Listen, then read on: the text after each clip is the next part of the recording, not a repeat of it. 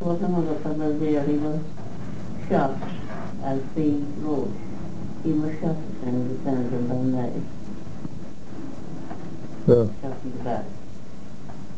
And of course, I said, oh, he was shot in the back, so they brought him to that. There was so much, you know, the board or something. The woman was out and the poor guy was shot. Yeah. And they said they were real, that it was coming on. So uh, the last one of them that was there was around the 1920s, was it? 1930? 1928. Yeah.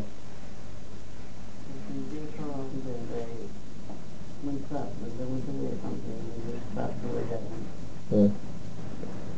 Well, it was mostly women you'd have at that market, was it? Oh, yeah.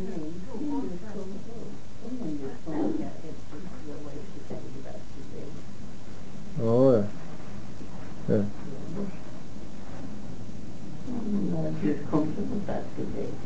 Was there any other agent there that used to come from Ballina?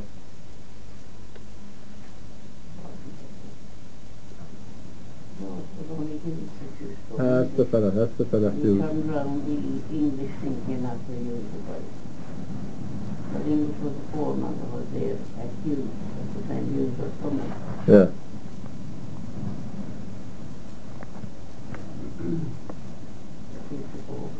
Is there still any of that stuff you're making there now? You never sold any of that there?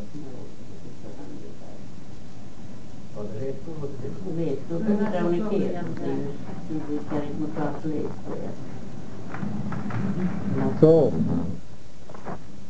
you must have been down there, were you? that's, that's where you learned the, uh, the craft, was it? Well, I didn't have the torture down there. Yeah. No, no, we done it on the north. The lake, uh, we carried across the lake there, to, these ten years come from Roxborough, about there, to the future. So we look around them and we didn't even take that. The, the gopher, and she was doing a lot. Yeah. and said that um, didn't like it and, and got away that was everything. Did he then?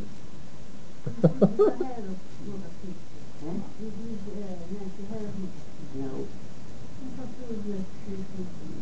but she was before my time.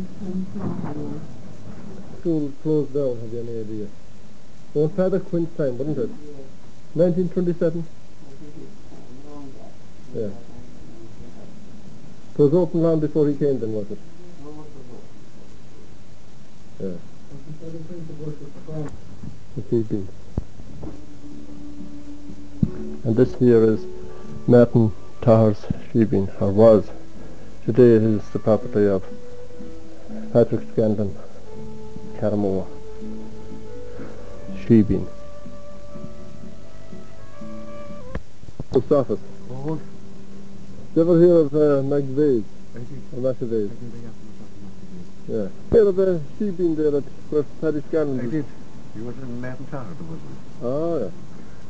That's his last name, man. I got kid. Yeah. Sorry, he died of the feet of Manchester. Did they? Dus ja, dat komt van de PvdA. Yeah. Was he going for America in the morning, as they say? Ja, hij was voor de... Oh ja, dat moet ik niet. Ja. Dat is voor de... Laat hem zien van de adventure. Yeah. Could be class. Dat de mensen komen. Maybe kill him with me for it. Yeah. Was a row then, was There there? was. And uh, how did they dispose of the body? I don't think it was ever found, did they? Oh, is... Ze gaan gewoon de story over de rest van en de praat u. En dan komen we aan dat we de jongen op. Nou, je moet ik zeker niet op dat Yeah. En was quick. They didn't throw it into McAveigh's pig or anything, did they? no. Het was dit dit. They didn't. Yeah. dat dit. Yeah. Ja, no. That's uh, McAveigh's hill.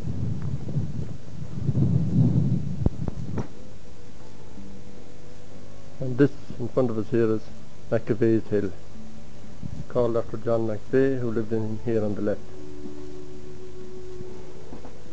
And this is the site of his house in here on the left, across from Duggan in the townland of Carmore.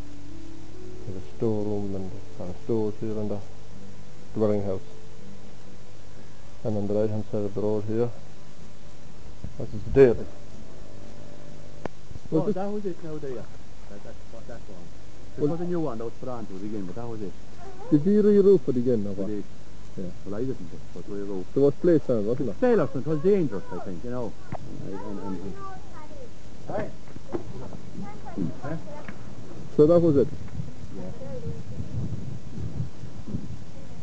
And it was a, there was an old mill down there. Here's where the fellas are walking, you see. See where the two are walking across the other side. That was Yeah, the other side of it. That's the, see the bank on the fair side of them there. yeah, But that was the mill race behind that bank and it was going down there. The mill was there somewhere, you know. yeah. And the river was, was, was going down in that mill, that, that place. What kind of a mill do you think was? It was. I don't know what it was. Corn or But flat? Probably for cordon because you see the, the, the two wheels. There was one wheel up. There's one wheel down there in our field. Covered, it's covered with sties. Yeah, And there's another one down in Paddy Scanlon's field up a bit there be- uh, uh, above Venus. yeah. And they're probably cordon, you know, because they were, they, they were, they were probably for grinding cordon, I'd say, you know. McVeigh, I suppose, that, or McVeigh that would have that there, wouldn't I'd say it was. Yeah. I'd say it was. Because that was his land down here. you know. Was indeed. See, the, the, No, yes. Uh, ben- oh, this here is the home of Bernard Dugan of Carramore. Get it now, didn't they, how did they get it? no, they. the, divorce. Didn't the bank buy it, or didn't the land commission buy it from the bank or something? Or they all joined up or something like that. And the land commission bought it for them. And both. Yeah. Yeah. Your man was gone bankrupt or something. I think the bank was, was going selling it. So happened. you know. Yeah. So did they more than your father involved? There was a lot of work involved before that, driving cattle. There was, there was driving cattle off and all that. Oh yeah. I them still around. Paul Earley if you want to. Yeah. Clark, Clark, no, Yeah, um, Tony K. Chair, like. yeah. William Eardley was involved. What's the William Eardley involved? Yeah. Baird Hill or something. No, he was some kind of a... Oh, he was he was a bailiff on the land. He was he was he was a bailiff for them, and he he tried to take over the land or something to get it, you know, under under home some way. Yeah. Yeah. And they, I think they must have stumbled to it, you know, that he was doing it, and I think they drove his cattle off it or something, didn't they? And, and I went to the bank and bought it, you know. I went to the land Yeah. got the land commission to buy it. Yeah. Forgotten land has been a here, what? Yeah, well, it was in the old schoolhouse Yeah, was in it the was town. yeah. Yeah, and away back there.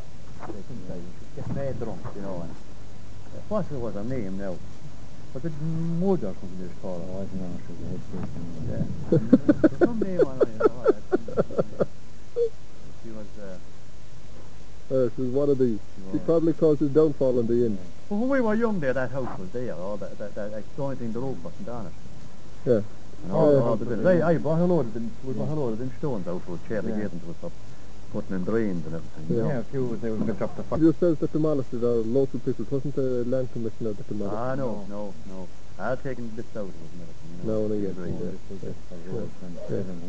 I suppose when Tony Kearney, if we got it all, I suppose they bought, was the roof on it that time when Tony Kearney got it? It was, yeah. How long ago, have you any idea, would that be, that they made that deal? About 1922, wasn't it, or something? It was 1922 this house was built here anyway. Yeah. And, and, and this house, my father came living here, you see, then. He was, he was living in St. Alban.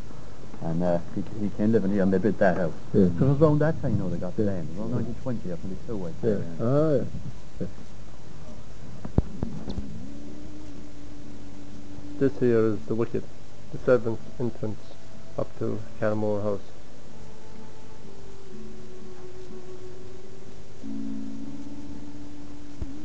Now the people of Bohol that worked in Carramore Estate came up across the marsh here, up these fields, crossed over the road here, and into this wicket, servants' entrance, and up the lawn. Uh, Carramore House. And this here is the wicket. Once it had a red door, now the colour is different. It has a cheaper model. Now up this lawn. Carramore House. Once the home of the Palmers and McCormick and now Robbie Buckley there. Carmore House. In 1838 it was the home of Roger Palmer. Around 1641 we ended up past Condon before my say.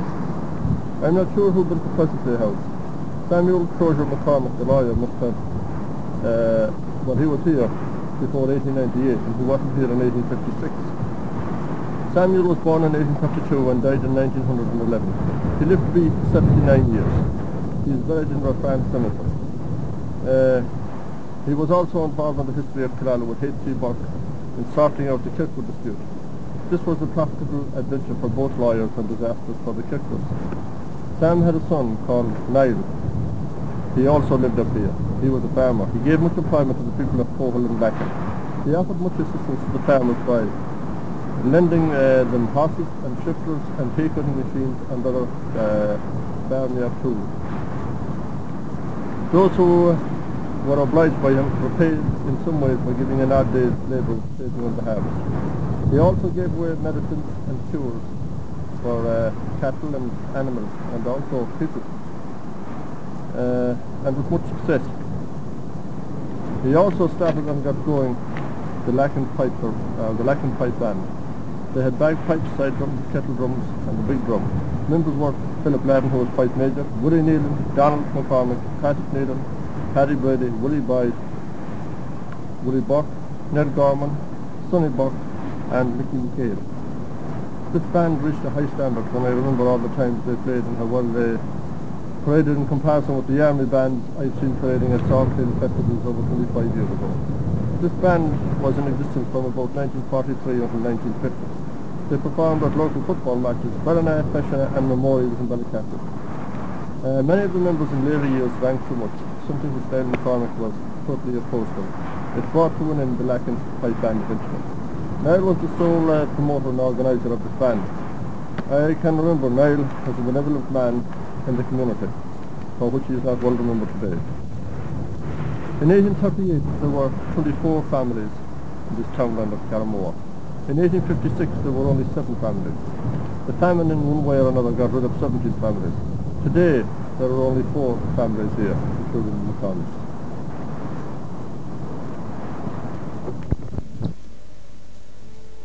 And this here is Carramore House, a typical landlord's house, probably built by the farmers. Later home of McCormick and now Robbie there.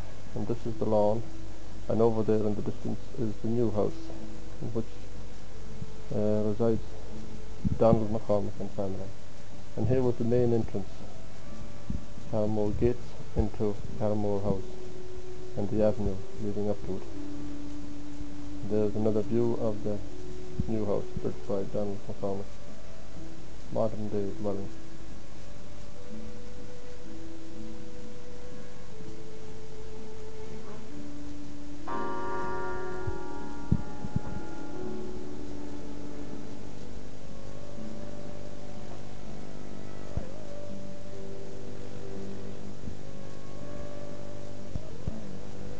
Here is the cemetery in which um, Samuel Crozier McCormick lies and his son Niall.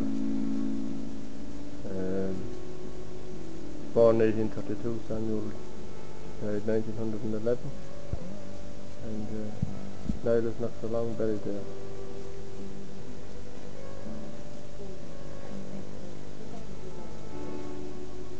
Nineteen eighty, Niall died.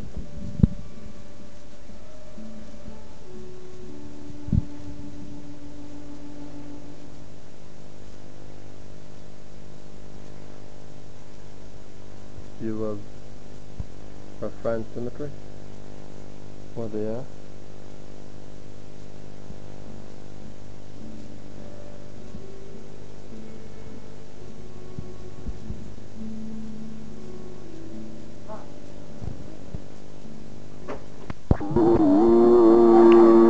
Lacken Pipe Band. Philip Lavin was pipe major, Niall McCormick the promoter, Willie Needham of Killigary, Ned Gorman of Killala who was an army drummer at one time, Donald McCormick, Carmore, Sonny Buck of Castlelacken who was the big drummer. Patrick Needham of Killigary. Michael McHale of Little Drone, who was a side drummer. Paddy Brady of Little Drone. And Willie Buck of Bela Salah. Now departed.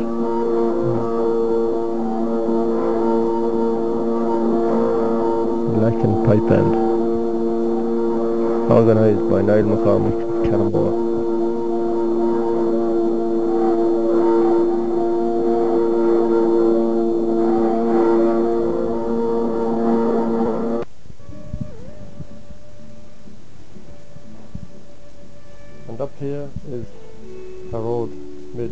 1920s which leads to Rathrishlan. On the left here is the Carramore Estate and uh, on the right is Rathlachi, the port of Rathlachi. One time property of Palmers. And see that wall on the left there, the Carramore Estate, McCormick Lands. And there's the view of Rathlachi.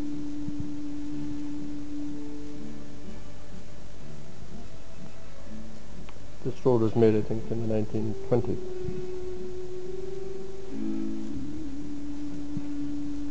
And uh, on the left of this river that runs down here to the bushes is, is a drone. Left of that wall there. And over here is Carramore Townland. But it is called after this fort over here, Rathbrislan. Which would mean the fort of the Breslin probably occupi- occupied by a Breslin family in olden times. Now about 200 yards towards uh, the strand down here was an old village which disappeared during famine times. You can see the track of the river there. It was there in 1838, seven or eight houses, and in 1856 they had disappeared. Probably disappeared during the famine years. Uh, townland extended up here by this river. Away up here. Northwards towards, not northwards but westwards towards Barn Hill. It's an area of firs and bushes and rough land. Goes away up here as far as I can. This is called Raversland, although it is Carramore townland. And this road over here now is reasonably new. Now, this is where we are now. That is the northern uh, end of the townland, and that pointer there points out the river that we were looking at running through the bushes a few minutes ago.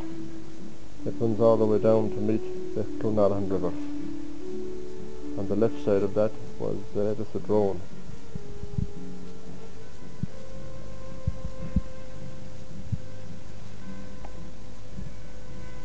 And this is the new road made, I suppose, around the 1920s, I'm not too sure.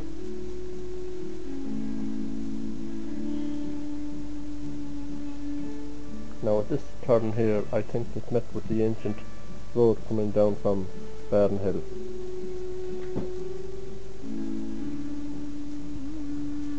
Down there.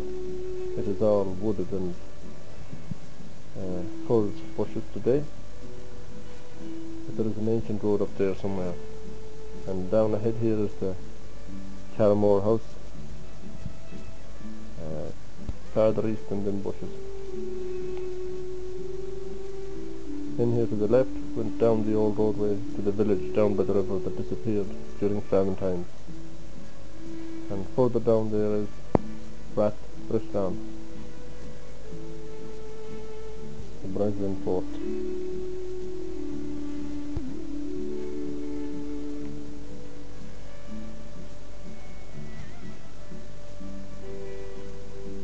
See there's a track of roadway there going down to the old village which no longer exists.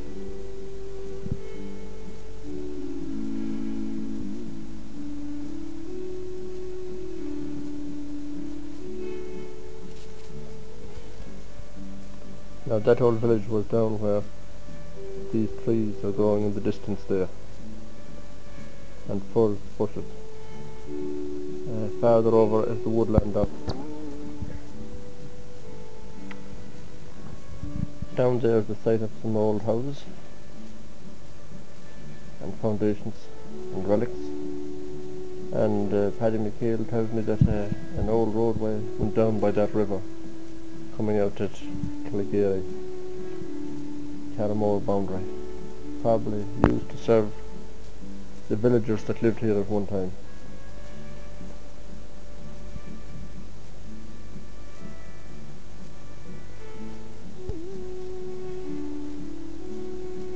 Now down there is the red tile roof or uh,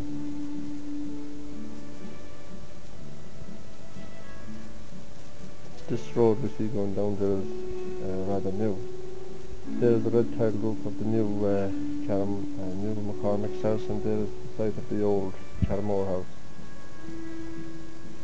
This land all around here, over as far as the river on the left, belonged to Palmer's McCormick.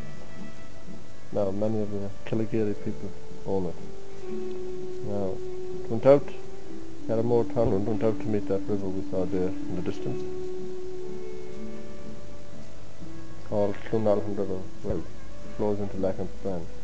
And up here is the west side, uh, rough country, grazing land,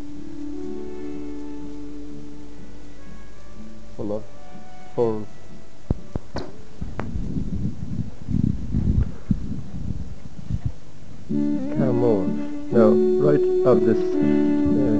uh, strand was a two-storied house. It was one time a yeoman barracks and later on a post office around 1920.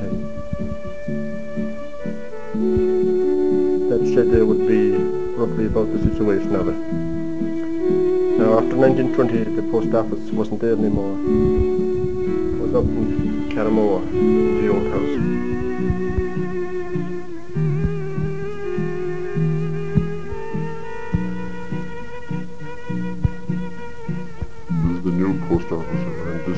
This the site and the left here of the old post office around 1920 or thereabout, I think. And later on, 1928 moved on to here. Uh, the post office was there across where people call it, where McGunn's barrels or sheds Yeah, today. the, the post office was in McGodden's old house, they you call I it. don't remember that. Yeah, I don't remember it either. I only remember it in the, in the present house. Now, it. Uh, before that, it was down at the stand down for the Beltra. Oh, I know, yeah. Well, um, uh, who was the last who was in it? I think it was McGovern that was in that shed there, wasn't it? Was it Anthony? Yeah. Was it Anthony? Uh, James. James. Yeah. James. He was also teaching in the school, wasn't he? Yeah. That's the old school at the back. Yeah. The school was just ahead, they built a new house too. I think some of the family or something got sick or something. Three or four of them. Two of them died, I think that was the reason. that Anthony they- Davis. Office into the new house then, didn't they? They, well, they moved to the post office into the new house. Yeah. The normal thing to do, and they left one house to the post office with them. Yeah. Mm, what year that happened then, no? No, I wouldn't have a clue about that year. Uh, then after, after, oh my God, and I, Mr. McGonagall was postmaster for five years. Should I? Remember, Mrs., when uh, they moved into the new post office for you? I do. Would you put a date on it? Nin- before 1930, was it? Yeah, I think so. Ah, I thought it was before. Was it? So couldn't be that No, before. no, it's not long before. Nineteen twenty-eight, Oh, yeah, oh, close enough. Moving up now to the site of the Carmore Primary School of 1836. Anthony McGodden taught here. He came all the way out from Carrickmacsean until he built his own house down here where the old post office was. He must have taught here for about 50 years or more, and after him came his son, James. James was teaching there, I know, in 1914, maybe in the 1880s too. They must have had very little holidays. I can see entries in registers for the old school dated 1st, 6th and 18th of August. They must have been working through most of the month of August. It must have been all work and no play. There were pupils here from Foghill, Banher, Belsa, not Bohol. Now in 1836 the public school was here for 60 pupils endowed with a £29 a year grant by Mrs Palmer and she lived down in the bushes there in Carramore House. Anthony McGordon taught here according to Canon Caleb Killala with distinction. His name, he claims, is still a legend in Lacken. His sons were John, James, Tom and his daughters were Kate and Bridget. All became teachers as well. Among those who passed through his hands were three who later became priests. Tom O'Hara, William McGordon, Pat Keaveney. His son James later taught here and uh, he also owned the post office, the old post office down there. Now there were also pupils here from Cloonanas, Palmerstown, Turin. Uh, Nealans were stewards in Carramore at the time and they sent their family up here in 1896 and there were also Nealans shopkeepers around Carramore because they had children going to this particular school and there we see the boundary going up there to the left. On the left of that boundary is Ballinalek and down by the stream here is Carramore. Right of it is. Left of that house Carramore. There is the site of the old post office and the residence of the McGurns before they moved in the 1920s across the road here.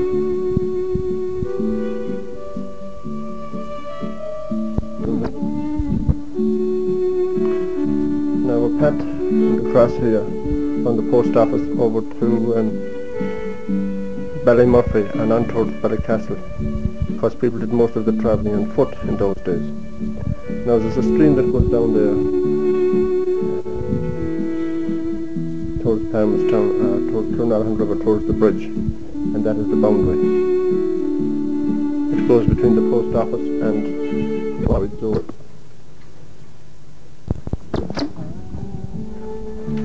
Ballinmalek, the town of the flags, or the town of the ford of the flags.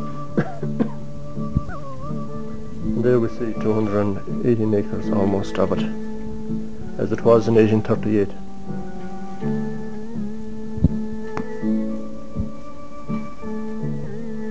Now, here would be the path from the post office across to Ballymurphy. And there would be the path from McDonald's of Ballinalek meeting that one. And there's the site of old McDonald's house, and the site of uh, a Herod's house that was there across from it, and the site of Mickey Scanlon's forge, forge or smithy, Peter Scanlon he was called later, and there was the site of the uh, house built by um, Samuel Crozier McCormick for um, Paddy Healy's father. Paddy Healy was his name. When he managed to evict him from the old Herod's house that was built just across from McDonald's. And this stream here, right of this stream is Ballinalek. Comes down to the Carrickanass road here, crosses the river, and that little piece of land left of the river there. And this uh, shown here, on the right of the road, is Ballinalek.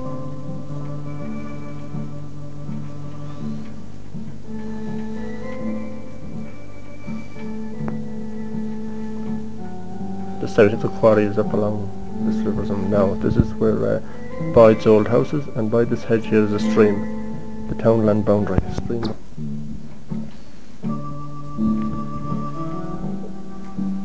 Running down to Clonalhan River. Ballinalek. and this is uh, where the site of the old smithy was. Right, by the stream here. On the right here. Left of that is Ballinalek, right of it is Carramore. Carramore land the other side of that fence. Ballinalek here. All up here. This is the road. From here on up is Ballinalek. And on the left here was the site of the smithy. Peter Scanlon, he was known I think as Mickey Scanlon's forge.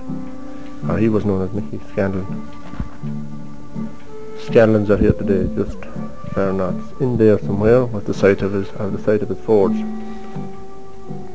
He's down in the valuation of 1856 to give it valuation as Peter Scanlon, but I think local people called him Mickey. Yes.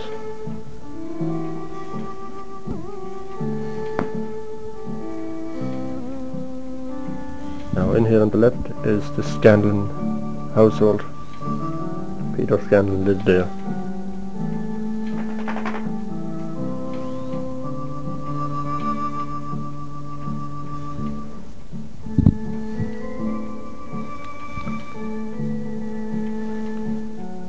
This is, I think, the only road going through the townland of Ballinalike. Here on the right, as we see it, is Carramore School, situated in the townland of Ballinalike. this piece of land was given to them by the McCormicks, the Niall McCormick, to build this school here. There was a tradition there, the Palmers and McCormicks giving them land for school building and their sites. Ballinalike, according to O'Donovan, comes from Bailon town of the flag. The Bailon the town of the flags. In 1838 it contained 217 acres. It was owned by Roger Palmer of Carramore House. Tenants hired at the rent of £1.5 and ninepence an acre. They grew the usual crops of oats, flax and potatoes. There were 24 Catholic families here. In 1856 the immediate lessor was Captain Phibbs. Uh, also uh, a Michael who had four uh, acres and leased it to Timothy Kilgray as a tenant. Other tenants were John McVeigh who had 122 acres rented, Reverend Peter Neary who had 28 acres rented and had a health house. Say that health house probably that one that's. It isn't the one but uh, one was built later I'd say that area. Peter Scanlon 19 acres, Michael Ford 42 acres, Timothy Kilgray 4 acres, Michael Ford one cottage without land. Now Matt and Darcy owned this townland in 1641 according to Simington's Book of Survey and Distribution.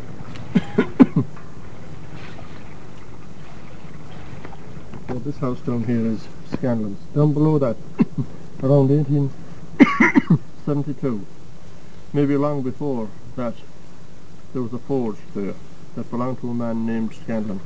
He had a child going to Carramore Palmer School, farther down near the post office. Uh, Peter Scanlon was a tenant here in 1856, so he probably was the smithy that owned the forge down there, just below that house there.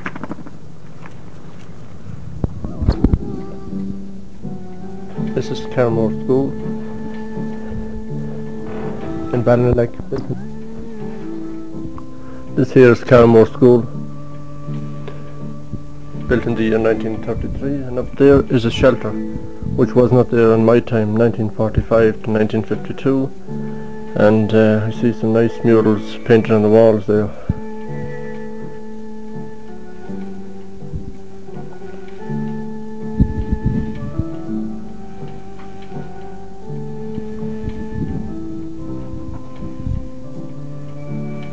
and up there is the house Samuel Crozier McCormick built for Paddy Healy.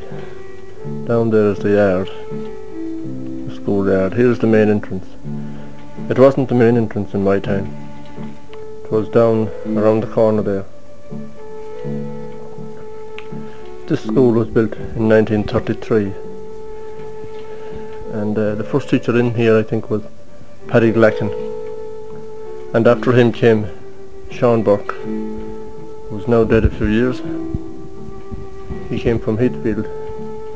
Um, a few pupils gained a few county council scholarships and made a civil service, but in 1922, uh, 1952 got really going when Jerry McNulty and myself won two Gaeltacht scholarships to uh, preparatory college in Galway and from then on we were able to qualify and many more followed. Then after him came Finan Burke. And now Paddy Lavin is in here. Now this school here was built uh, after the other one. and the Palmers contributed the site also. The other one was down in that direction near the post office.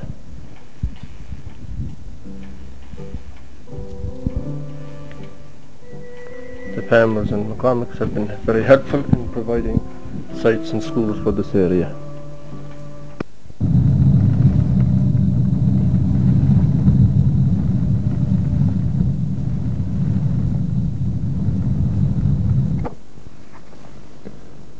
This is a health house. In 1856, Peter Neary had one rented here from Captain Phibbs. It was probably situated down there. Later on, there was a Paddy Healy here, and Samuel Crozier McCormick used his legal knowledge to take away his squatter's rights. He built him a new house, and then he had him put out of it when he couldn't pay the rent. Whereas he couldn't have put him out of the old one. He had squatter's rights. Your father was a carpenter here up until when? 1933. He, uh, yeah. And that's where the old uh, house was down there, where the kid there. Yeah. And this was the one that he was able to uh, evict. The one he moved him into. Yeah, and the one he moved him out of too, wasn't it? And the one he moved him out of.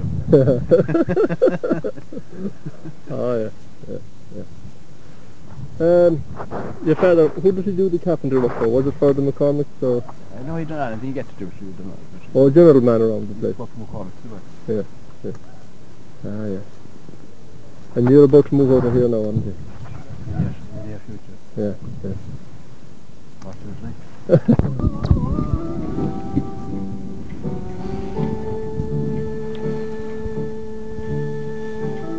Now, this is the road that goes through Ballinelec. Left and right of this road. Goes way up past that bend there. Now you can see the boundary fence on the left going away down. The other side of that fence, the far side, is Barn Hill Lower. This fence goes away down to meet the river. That comes down by Carcanas Road and down somewhere there is the site. This is the other side now of the road.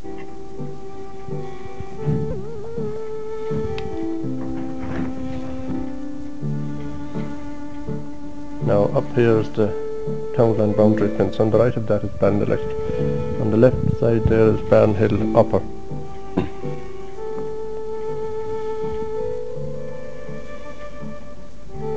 and up there is Atchie Clough, or the site of the stone house as mentioned by O'Donovan in 1838. Now this is January of 84. It looks cold and it is cold.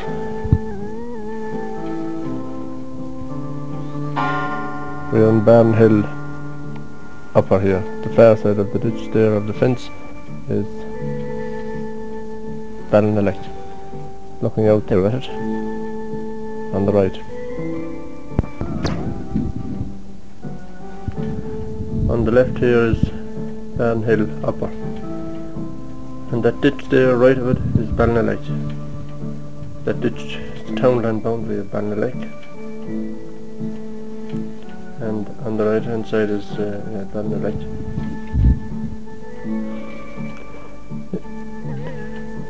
This area in here is called Atchie Clough. At Atchie Clough, the site of the stone house, and there we see it, stones sticking up out of the ground. Maybe it is the ruins of an old house, or uh, maybe it is the ruins of a pre-Christian burial. This area around here uh, would be called Archieclough in 1838. There's another look at it.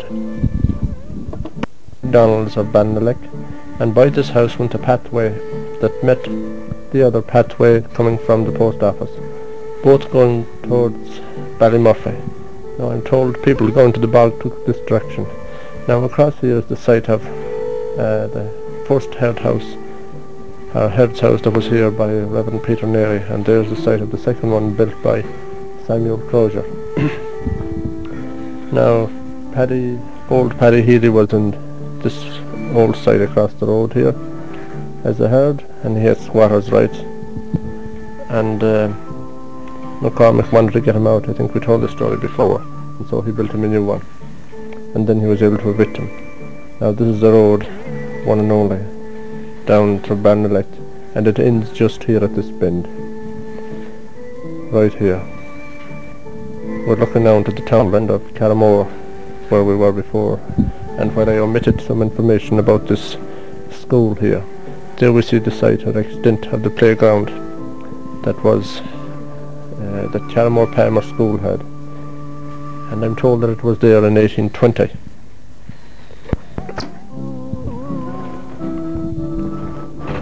Another look at the site of the Palmer Schoolhouse.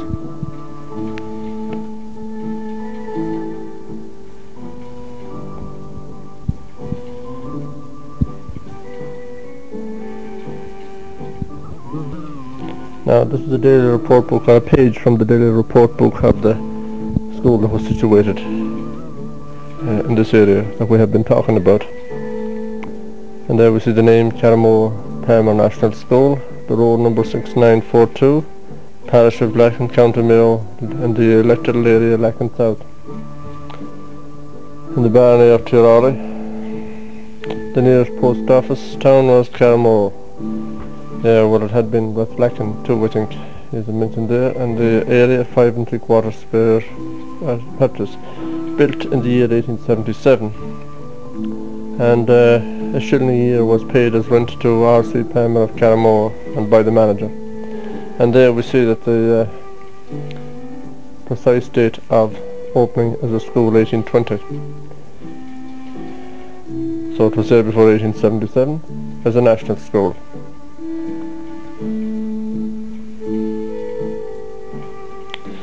And we see uh, internal dimensions of each room 40 feet and the internal breadth 16 feet. And the uh, external dimensions of the house 44 feet and the external breadth 20 feet. And the height of the walls up to the eave 12 feet. And they uh, had uh, some furniture there too Number of desks and forms, 7. 8 foot long. And separate forms, 6 of them. No committee and no meetings held.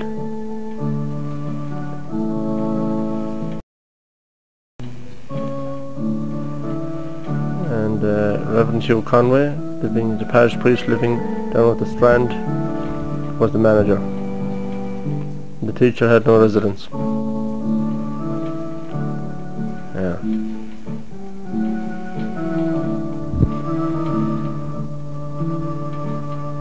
Some data on the Carramore Palmer School. One of the pages from the daily report book for the year 1889.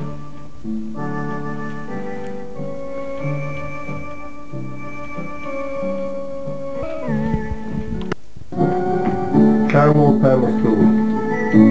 Earlier I stated that Carramore Palmer School was here in 1836. In fact the page that we've just seen there from the daily report book of January 1889 indicates there was a school here in 1820. It was used as a national school. It was built from private funds. The Palmers more than likely built it. The area was five and three quarters square perches. That would include the extent was 44 feet long by 22 feet wide and 12 feet high as far as the eave. The inside dimensions were 40 feet long by 16 feet wide. The furniture of the day, 7 forms, 8 feet long and 6 forms. I don't know how many feet long they were. There was no school committee and no meetings held. The manager, Hugh Conway, parish priest of Runlacken, he was the manager. He paid a shilling a year to Mr. R.C. Palmer. Anthony McGovern, I think, the first teacher here, and afterwards came his son.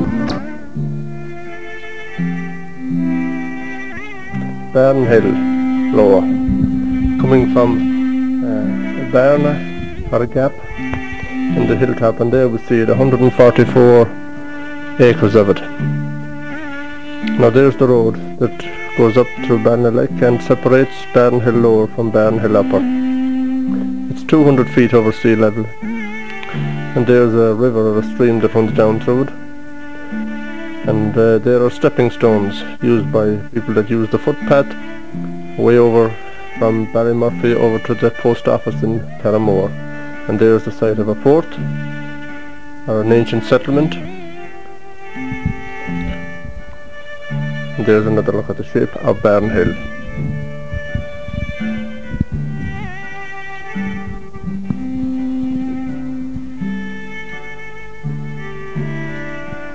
the boundary is down there between Barnelek and Barnhill.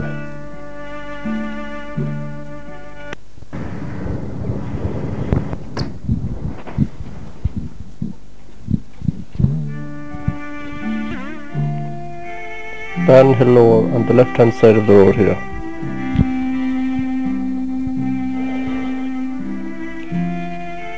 This house here is Dennis Langan's. He was a stonemason and built many houses. He built uh, uh, my father's house and this is drawn around 1938.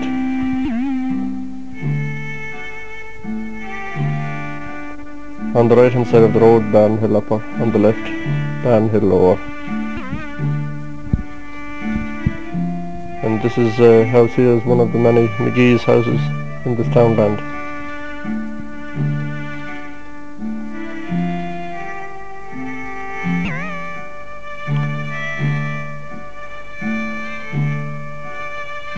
This is a McGee house also.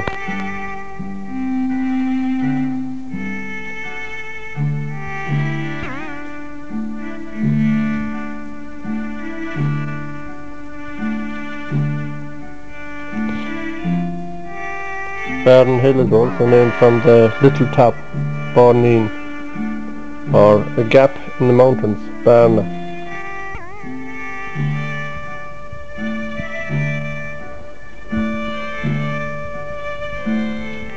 That mountain top or Barna would be in Barden Hill Upper, at the peak of the mountains, I suppose. It would hardly be situated in Barden Hill Lower. And there's a road going up to Barden Hill Upper. Barden Hill Lower. According to what Donovan came from there is for Bordneen. It means little top, or Barneen, or little gap. Could be a gap in a hilltop or a gap in a mountain top. It has 144 acres of land. It was in 30, 1838 the property of Sir William Palmer. His agent was John Heaviside of 13 Holles Street, Dublin, and P. Nolan of Mine Killala was the other agent. Now, Barnhill Lower is way down here, that side of this road here. Tenants in 1838 paid 30 shillings an acre annually. 30 families lived here in 1838. They were all very poor. The crops were oats, barley and potatoes. In 1856, according to the Griffith valuations, the tenants were Patrick Mahan, Patrick Kennedy, Mary Ford, Mary Ford, Bridget Carden, Hugh Neary, Bridget McGee, James Jordan, Mary O'Hara, Thomas Kinhart and John McAndrew. Uh, much the same as the townland of Barrow. Well now, 30 families lived here in 1838. Only 11, on, only 11 families were left after the famine in 1856. It was much the same as the townland of Barrow that had only 25 families in 1838 and only 5 after the famine in 1858. And today, in 1983, it is only 2. Barden Hill has 2 or 3 families here today.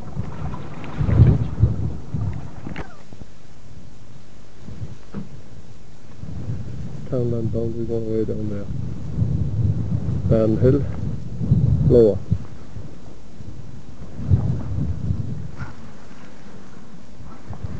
Over there on the right, Ballymurphy. There's the town and boundary, that fence going down there, all the way to the river. And there are stepping stones down there on the fort.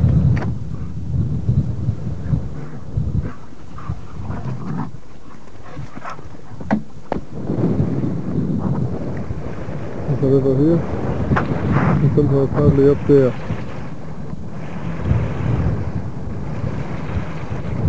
in the stepping stones. Now the path went down by the river here on the left hand side. And there's a fort, an ancient settlement. The bushes up there in the distance is where the road is situated.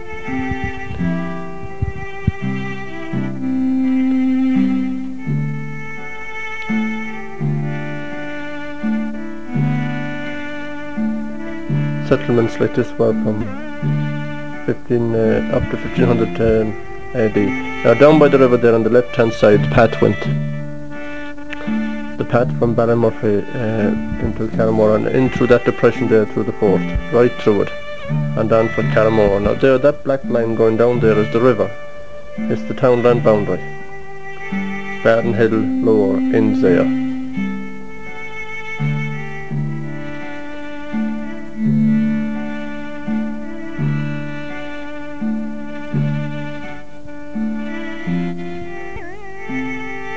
and that's Ballymurphy, the one and only house in it, McAndrews. People did a lot of walking in those days, and they took the shortest cut through the fields. Hence the path from Ballymurphy to the post office.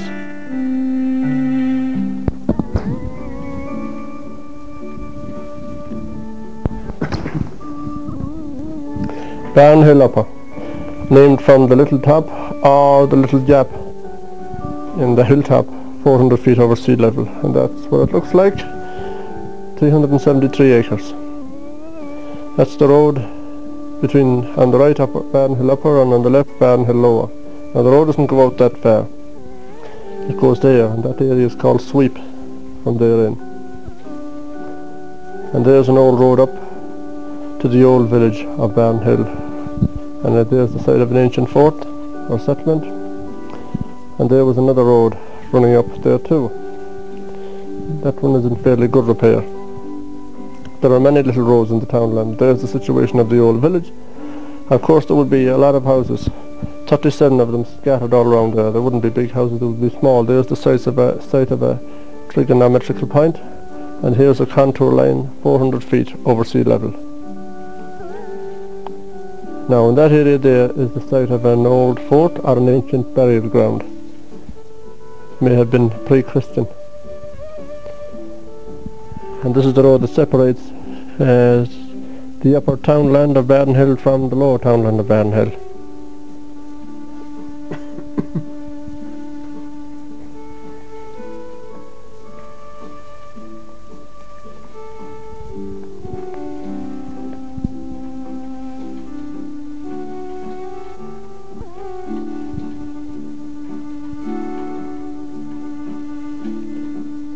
passing by Dennis Langens on the left.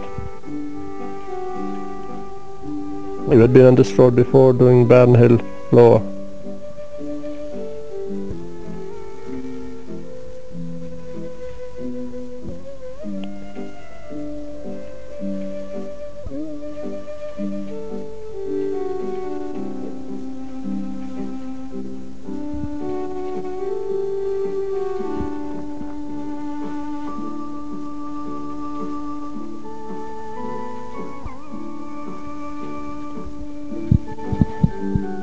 McGee's I think.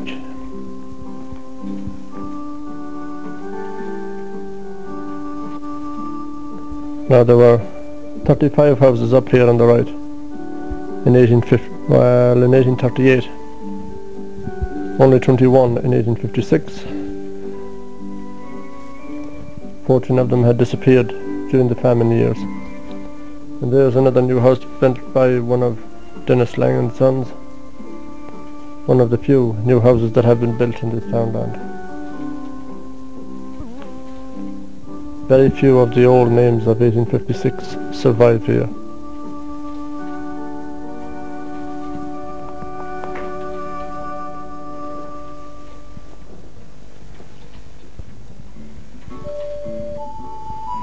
And there's one of the old roads leading up to the old village. Very much disused today.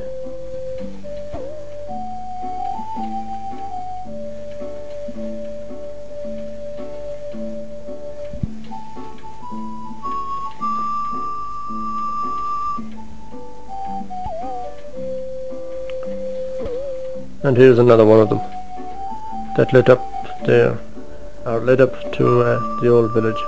Of course, there are many little roads up at 400, uh, the level of 400 feet over sea level. A lot of little roads moving through some of them leading on to Ballycastle and more of them out to Lissadrone. And of course this townland run away out to Lissadrone Bog and back towards Carrickmacsean and Carcullen.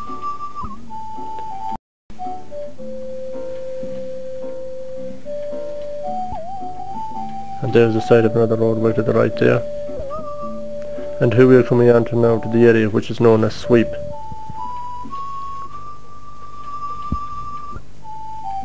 Now, uh, Hill goes beyond this road there for a little distance, and over here. That's looking at it from west to east. The townland of Barden Hill, upper. And up here in this area, way up in the fields there, is this site of a, either a fort or a burial ground, which has not been registered. Named after the little top or little gap, Borden now, that could be it over there, or over here. I'd say it's over there. It is 400 feet over sea level. It has 373 acres. In 1838 it had. It belonged to Sir Deblow Palmer. His agent was P. Nolan of Mine. Uh, it had 120 acres of uncultivated land. The remainder supported 35 families. They were all Roman Catholics and they paid £70 annually in rent. In 1856, according to the Griffith valuations, there were 21 families here. 14 families had disappeared during the famine years. Sir W. Roger Palmer, the baronet, owned it. The tenants were Anthony Carden, he had 10 and a half acres rented. Anthony Carden, 7 acres. Thomas Kelly, 16 and a half. Thomas Kelly, 30 acres. Thomas Kelly, 18 acres. Anthony Carden, Carden 16 and a half acres. Another Thomas Kelly, 11 and a half acres. Patrick Mahon 8 acres. Hugh Neary, he may have been a brother of Father Peter, Reverend Peter Neary. He had a land and a health house. He had 13 acres. Michael Kilcullen, 20 and a half acres. Hugh Neary again, same man, he must have a second hold on here, 23 and a half acres. Michael Kilcullen, land and health house, 62 acres. And Michael Kilcullen, 10 and a half acres. Other tenants were John Scott, Michael Doherty, Connell, Conor Kearney, Michael Ford, Patrick Kennedy, Mary Ford.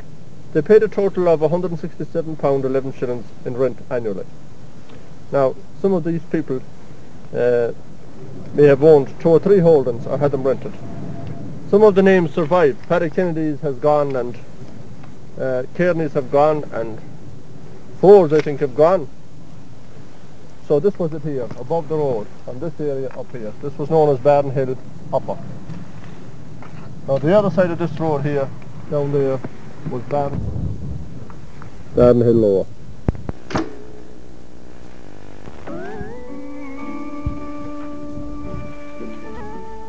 Now this here is a mound of earth which once I suppose could have been the passage. Yes, it, uh, it certainly looks very like it. Well, uh, pas passage graves would date from about 2500 BC uh, down for maybe four or five hundred years, maybe more. Um, they had a kind of a curve, a ring round them. That now would be the, the, the centre of it, uh, where the burials took place. And there were usually cremations. Yeah. Now that's uh, that's still the centre. See in the uh, in the distance now at the far edge, uh, that would be some of the curbstones, or that possibly is a capstone that rolled down um, when the mound was. Uh, A round hill in those Yeah, days. yeah. Yeah, a round hill of stone. Denuded by farmers or other people looking for yes, and weathering I suppose too would have Yeah. uh, washed some of it away. now uh, this there's part of the curb again now. And some of those stones are moved out of position. They should be in a kind of a circle or in an oval. Yeah, the entrance was from here, I'd say, going in from This side, yeah. east to west in the the centre. Yeah, well that's that's generally the way they Yeah. And this one was not marked now by O'Donovan, I don't think, or on the present day maps it's not marked, this particular uh. Well, I said that that's well worth investigating because um, I'm sure there would be some finds, possibly potter- pottery, uh, bone pins or Yeah. maybe human remains. Yeah. Now that's the boundary going over towards uh, Carrickmacsean and Lissadrone. It's all a boggy area here. No, but um, The fact that there's a burial mound there would mean that it was inhabited for at least a thousand Yeah. years, or maybe two. Yeah. Some of the first, and these are some of the ancient roads that were here in about 1838. There was a big population here before the famine, Yes. living in these bad conditions. And before the climate changed, and you know, when, when that was uh, pasture land or arable as they call it, it would have supported a bigger population still. Yeah, I suppose so.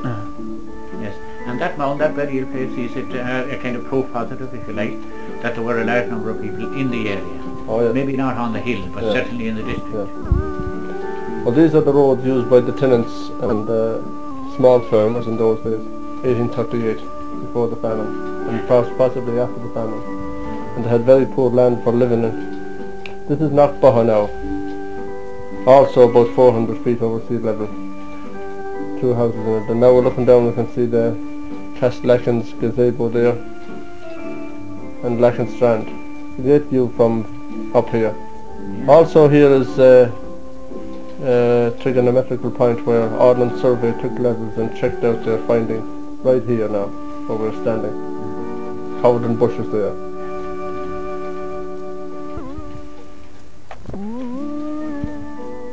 Now he would be standing there on the mound, the highest point of Barn Hill, probably the place that gives its name, or uh, yes, gives the name Barneen. The little top or the little gap, probably the little top to Barn Hill. There's the present day houses of the village. A lot of them uninhabited.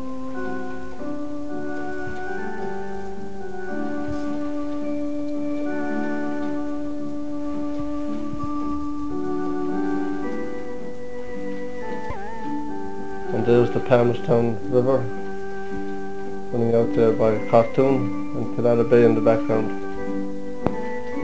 And if we can see the Sahi up there. Yeah.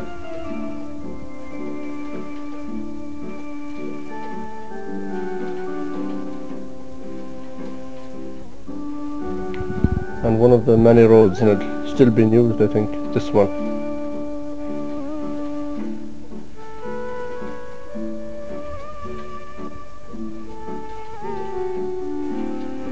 This one has been used fairly recently. There are tracks of Photograph now in Michael Herity's um, passage graves dating from about 2000 BC and that's of Cairn U as it is today at Lough Crew and you can see the burial chambers there and the passage leading way, uh, on this side.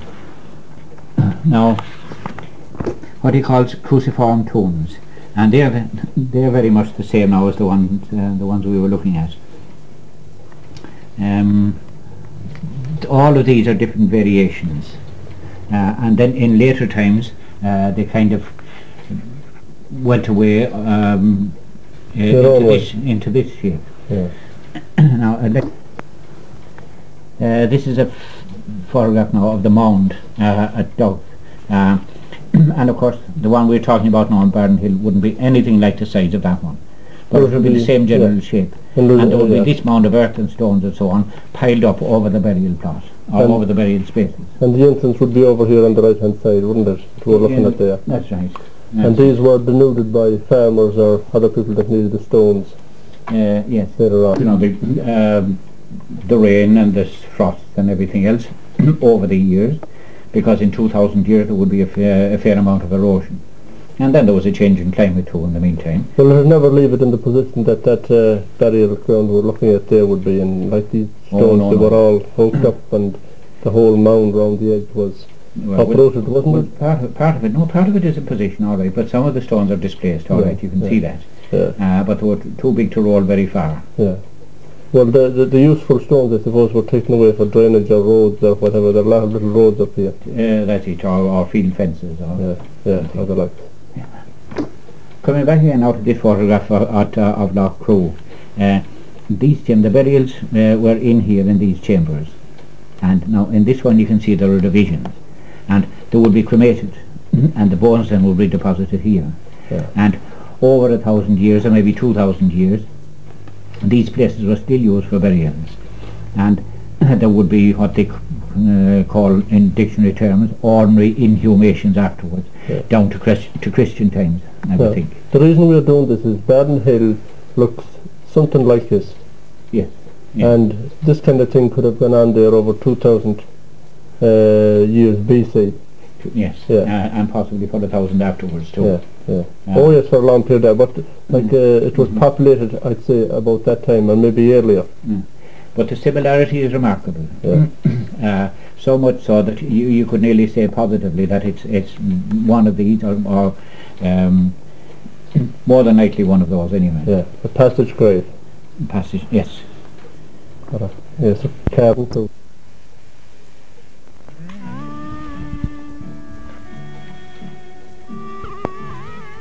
Clonalahan, named after the meadow of Allahan. It has 236 acres of land.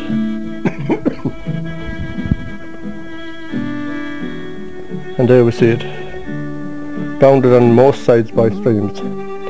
There's the Clonalahan River running down towards Strand on the west side.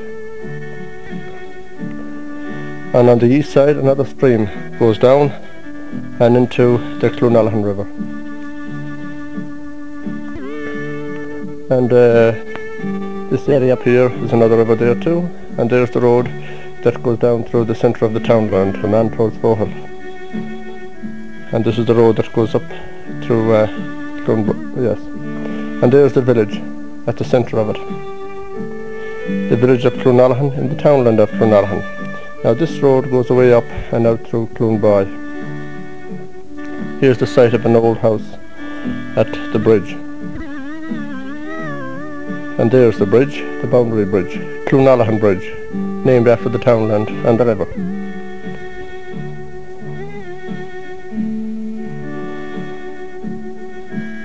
Flows away down. Right of that river is the townland of Clonalahan.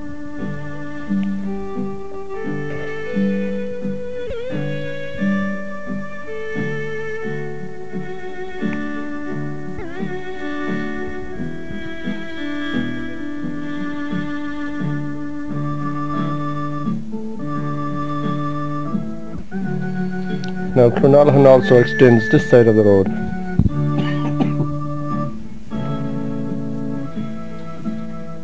Goes away up by this river here. Left of the river.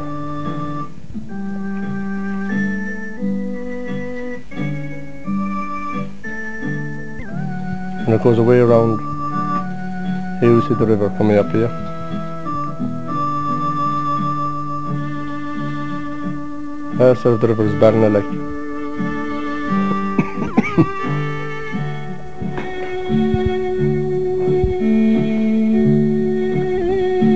And it goes away around the hill there.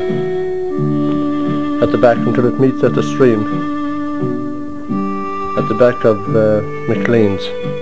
And McLean's house. Uh,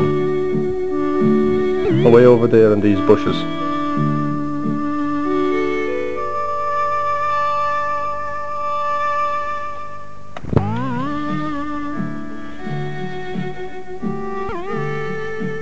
Now there's the other road going through the centre of the townland.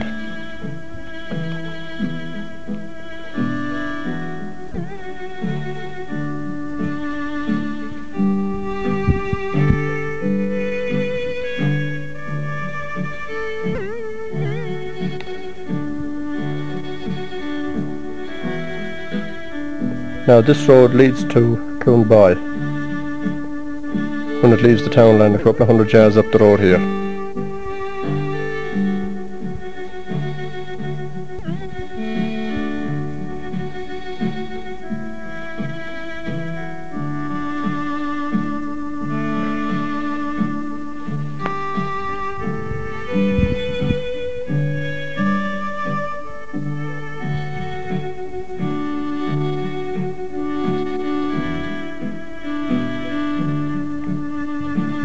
Kearney house. A house that had a shop one time and the last shop they had I believe was the butchering or selling meat. Tony Mihal. Patch Henry or something was the name of the house of the old man that lived here. That's the original house. Now there's the stream, that's the boundary. Left of that is Clonalahan.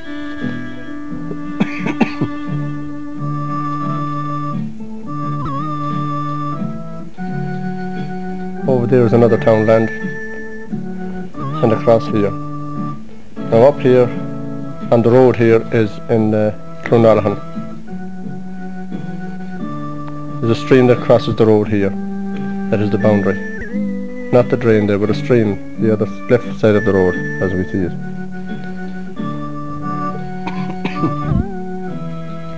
and there it comes down by um, McLean's and away up round the corner there until it meets somewhere near the Clonarhan River, the far side of the hill. You can see the drain going way up there. Now the house on the left there is in Clonby. Uh, the stream runs right under the pillars there and down along the road, under the car. You see it running down there.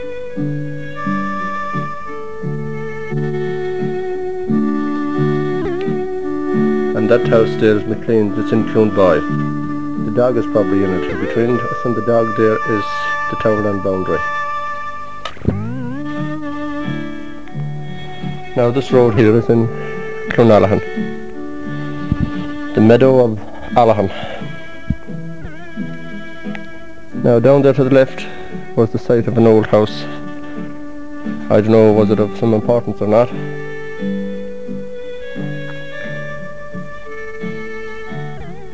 Now we're heading off towards the heartland of Clonalahan. To the village of Clonalahan in the townland of Clonalahan. And here we see it right ahead here. Now left here, on the left hand side, is the fort, which is not on the maps, on the today's maps. Allahan's fort, uh, a big one, the one that gives its name to the townland. The chief himself is supposed to be buried there, Allahan. We'll go up here to the left to find it.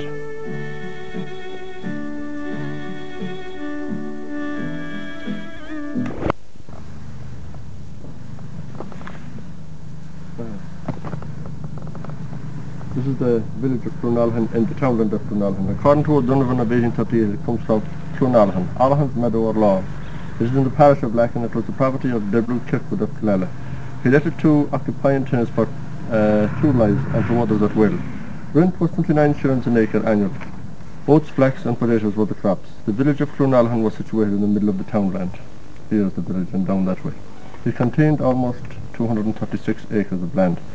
In 1856 it was leased uh, to Captain Phibbs and he had it leased to tenants and the tenants were Patrick Tahar, Patrick Franklin, James Mahan, Patrick Tahar, Charles Kearney, Aeneas Earley, Patrick Kearney, Patrick Kearney, Owen Kearney, Owen Kearney, Patrick Kearney, McGurn, Ellen Rogan, Patrick James, who had 45 acres rented and he had a heads house, Thomas Kearney, John Rape and Patrick Tahar again. Many of the names are occurring over and over again. It may have been the same man that had a few uh, holdings rented from Captain Phibbs or leased. Now this townland gets its name from now Allahan's Fort is uh, not in the direction I pointed out there. It is across the road in um, Patrick Kearney's field just behind the house. On the right here is uh, James E. Clark's. He has been dead for the last, oh, many years, 40 years. He was a weaver, a linen weaver and uh, uh, a woolen weaver. Now we're approaching the stream here passing down is the boundary, goes away up there to the right.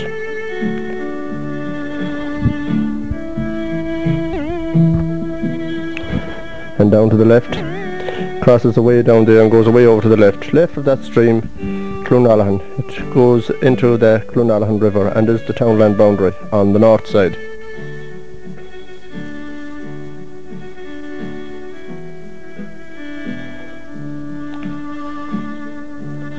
Right there is Foghill. And here are the lands of Clonalahan.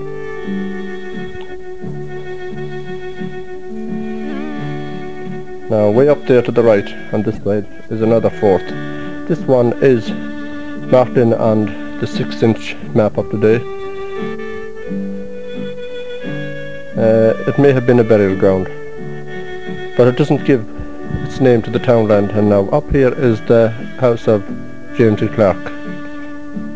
This house was built by Aeneas Earley who was a builder. And here's the fort here at the back of the present day Patrick Kearney's field, a massive fort. Allahan's fort. Tradition has it that he's buried here.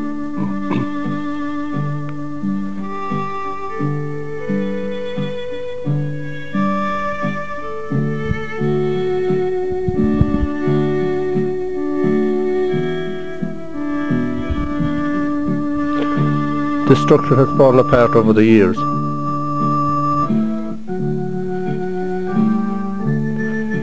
You can see how it has been built, or it had been built up there.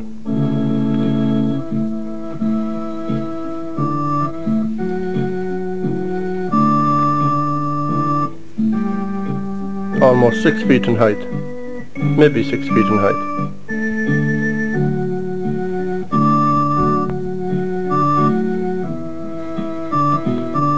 Built of stones and clay. And this is what it looks like on the top. There forward is Patrick Kearney's house. And we see the extent of Allahan's fort. Which O'Donovan omitted for some unknown reason. Now here, I'd say, is the tunnel where it would start. The escape chamber. Somewhere around here, where he's standing. And it goes off uh, in that direction out there. We say that because many liquids and fertilizers on the ground there have disappeared down through here for some unknown reason. Allahan's fort. Now here in Paul Earley's land is a site of an ancient school that was here possibly before or during the same time as the Carramore Palmer School. Who did you hear saying that uh, it was there? Tomataha. Yeah, well, that's part of his, is That's it? all it is. Yeah. There was four or five houses in it. Must have been more than that, wasn't it? Well, it was them that was working on the rundales down there, wasn't it? Yeah. Yeah. Run run down here too. This area here, Yeah. probably was. But that level, they leveled it out. They did, yeah. And the last bit was level the other day, wasn't it? Why? Are. There they are. Yeah. The kilos was all leveled at the time. if you wanted had them, That was the day when I was in business, you wasn't it? fishing. Uh, the site of the old school. You don't know, you ever hear the name of the schoolmaster that was here? No. He wasn't Hoban, was he? No. Or Mahady? No? So we never have the name. Yeah. Old people there. That's it. The early man won't build on the house there above. Yeah, But he built that part onto it. yeah. What's the market now? In, in. And he hadn't the money to put the slates on it. And he wouldn't get the, they wouldn't buy it on then. Well, they wouldn't rent it like They them. wouldn't rent it. Yeah, yeah, yeah. yeah.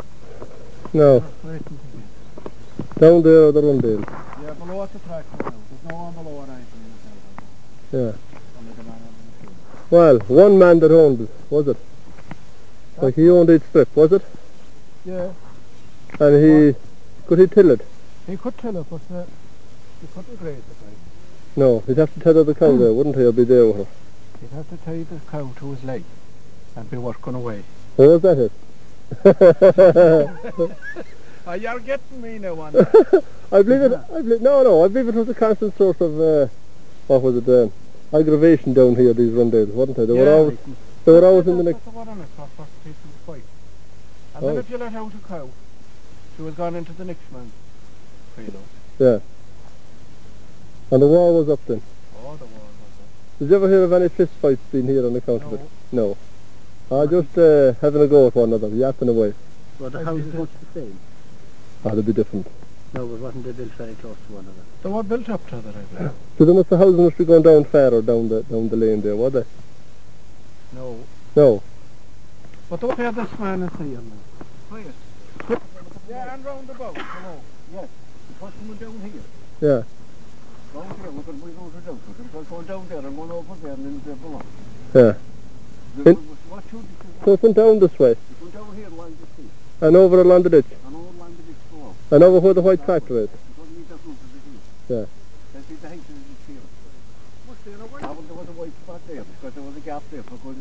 Yeah. Tell me. Were there houses going down any further than this? Yeah. yeah. You ever hear about any fights about the the Rundales? And uh, Patty and us used to walk it, they down this way. When you go down the side of Bow, you know, from you go down this way, so the, the road was all the way past the gate. You see, it's fair to go further way, corner below there, that's not what it is. It not? Do you remember the Rundales being in use? You did not, did you?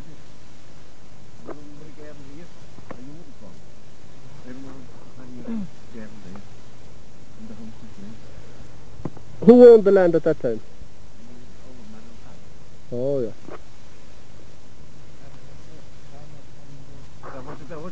Where was that little road going over there now?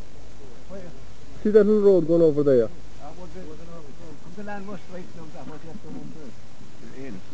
Oh yeah. Yeah, yeah. Oh yeah. Well, it's just line side that. On the right hand side. Yes, Foghill Street. That's, that's Foghill Street was there. That was where St. Patrick was supposed to have landed first, was it? After he was, the man went over to Salmon. Ah yes. You know you know the... the Door Salmon, around him like that. Or the tide never covered. yeah. Do you remember the garden? I think that he actually, he said he didn't think Yeah, and everyone was bigger. The next one was bigger. He said there never would be. Well, did he throw out a stone in the water and said that it never would be uh, that the salmon wouldn't be caught again until it was washed ashore? He did. It is. He did, and there was there was never a salmon killed. Yeah. So I think no, he was wrong. I think the big total was seven or eight pounds. Did He you? was a salmon. You think he was a salmon? Just keep going. Maybe that stone was washed ashore again, was it? I know. That wouldn't be washed in. Yeah. But what did he do, man? That wouldn't the Tell salmon. me, what side was he standing on? Must be the focal side. Paul said that the hill in his way all the same. Oh, yeah. You see, that must be only narrow about that. Well, it might be bigger than what it is today, Thomas. It, it, it could, it could be. You know, it's swollen in the one, it's getting narrow. Yeah. Oh, that's it. You know, they never go over a shot again. Never did. No. That's where all the four feet used to be same one, was the 18. Yeah. Yeah. It's just at the very that. Oh, I see you there. I got it there. Oh, not all. This Will you get it there? Oh, yeah. Huh? What do you think it was? A lishing, was it? And they said he's down front. On that side. Yeah. We'll look on the cover stuff. He never touched it. No, no. And that's in Carramore Townland, isn't it? Yeah.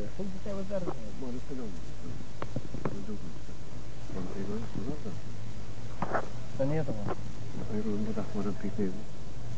How long ago since the last burial, Thomas?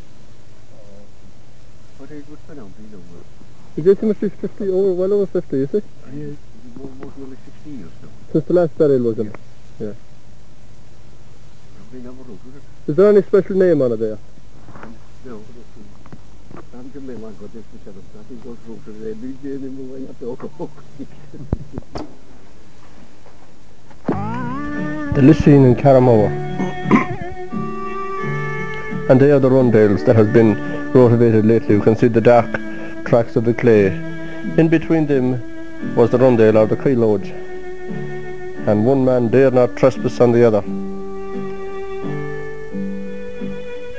Belonged to the people of the Ballyheath.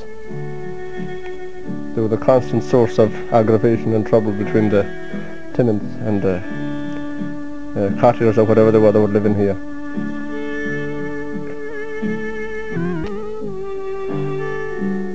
Now, down here we are told, in this area, just about here now, is the site of a giant's grave.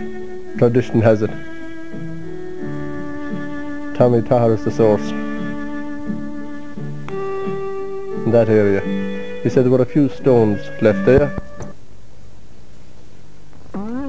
Well, this Amadon is standing here, giant's grave. Now this is the house of John Clark the Weaver.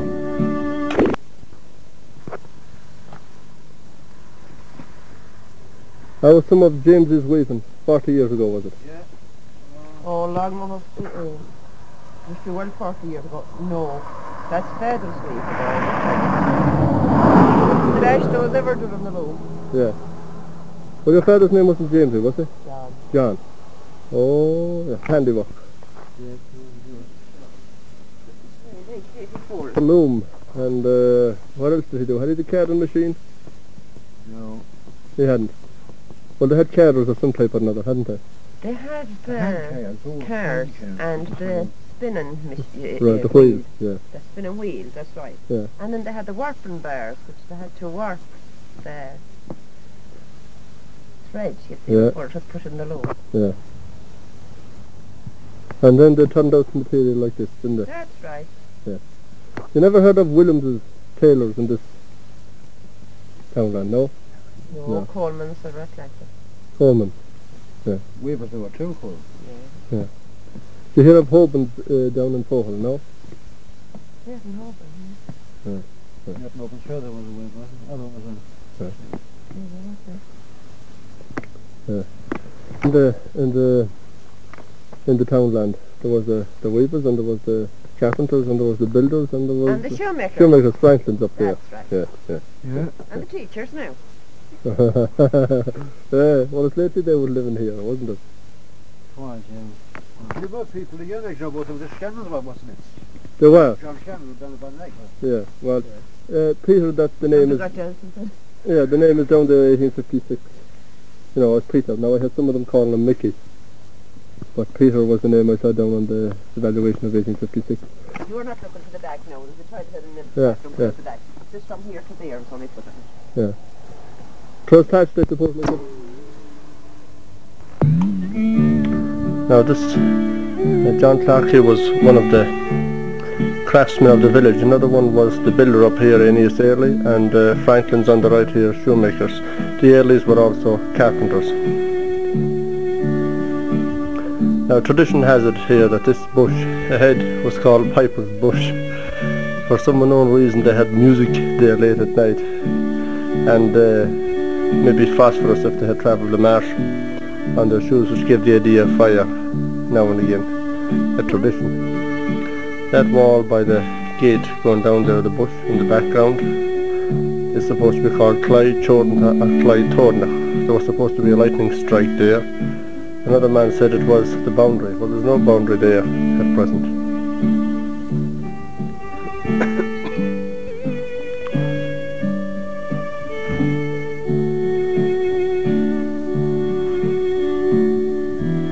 Each of these villages were uh, kind of a complete unit. They had the craftsman, they had the weaver, and then here was the shoemaker, uh, a Paddy Franklin or a Patrick. And uh, further up to the right there was the uh, builder, Aeneas Earley. He lived up here. He was also a carpenter.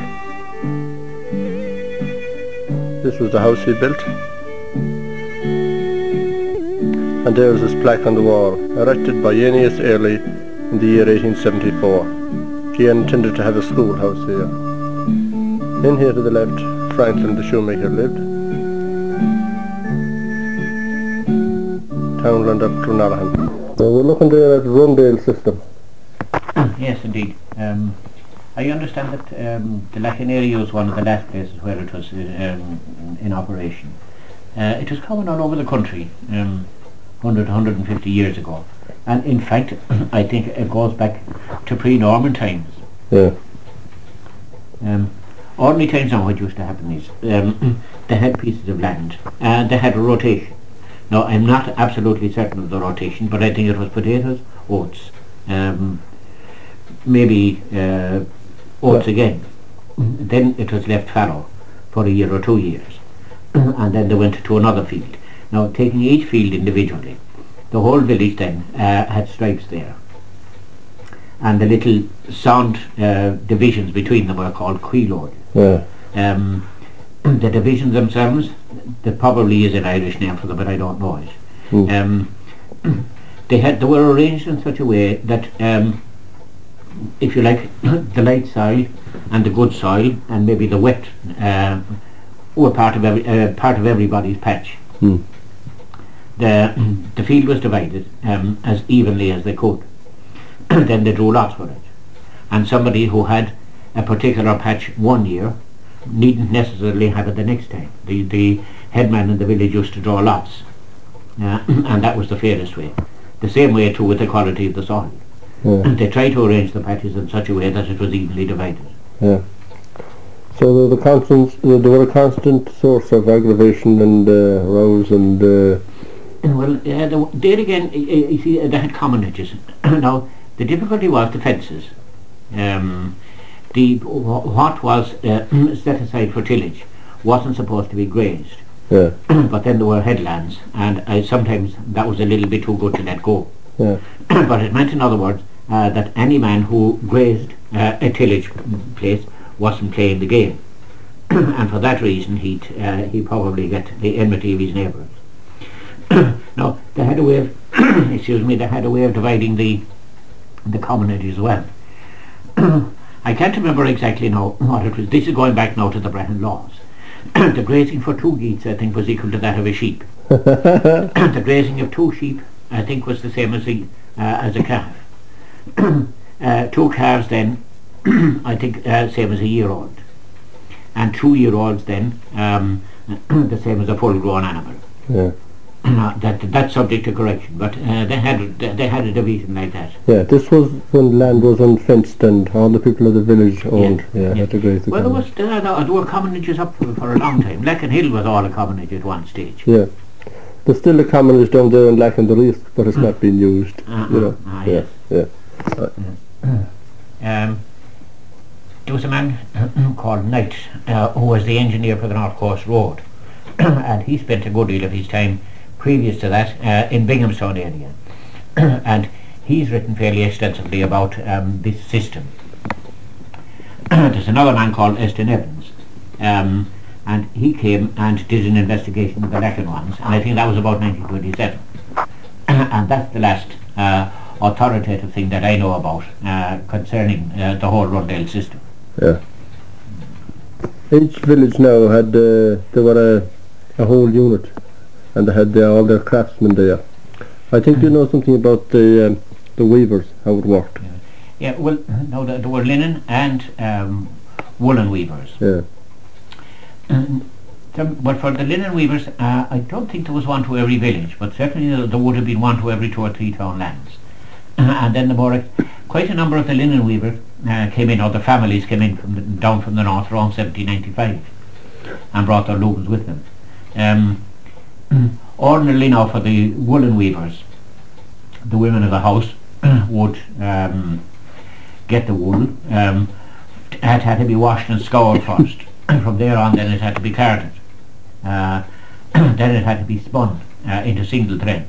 they do that though with the, the spinning wheel, wouldn't they? The Spinning one, wheel, the timber one we see today. yeah, well, the, um, there was a special woolen wheel, which was a bigger wheel now than, Yeah, the, than the flax yeah, wheel. Yeah. But a lot of them used to use the flax wheel for spinning too. Yeah. then there were single threads.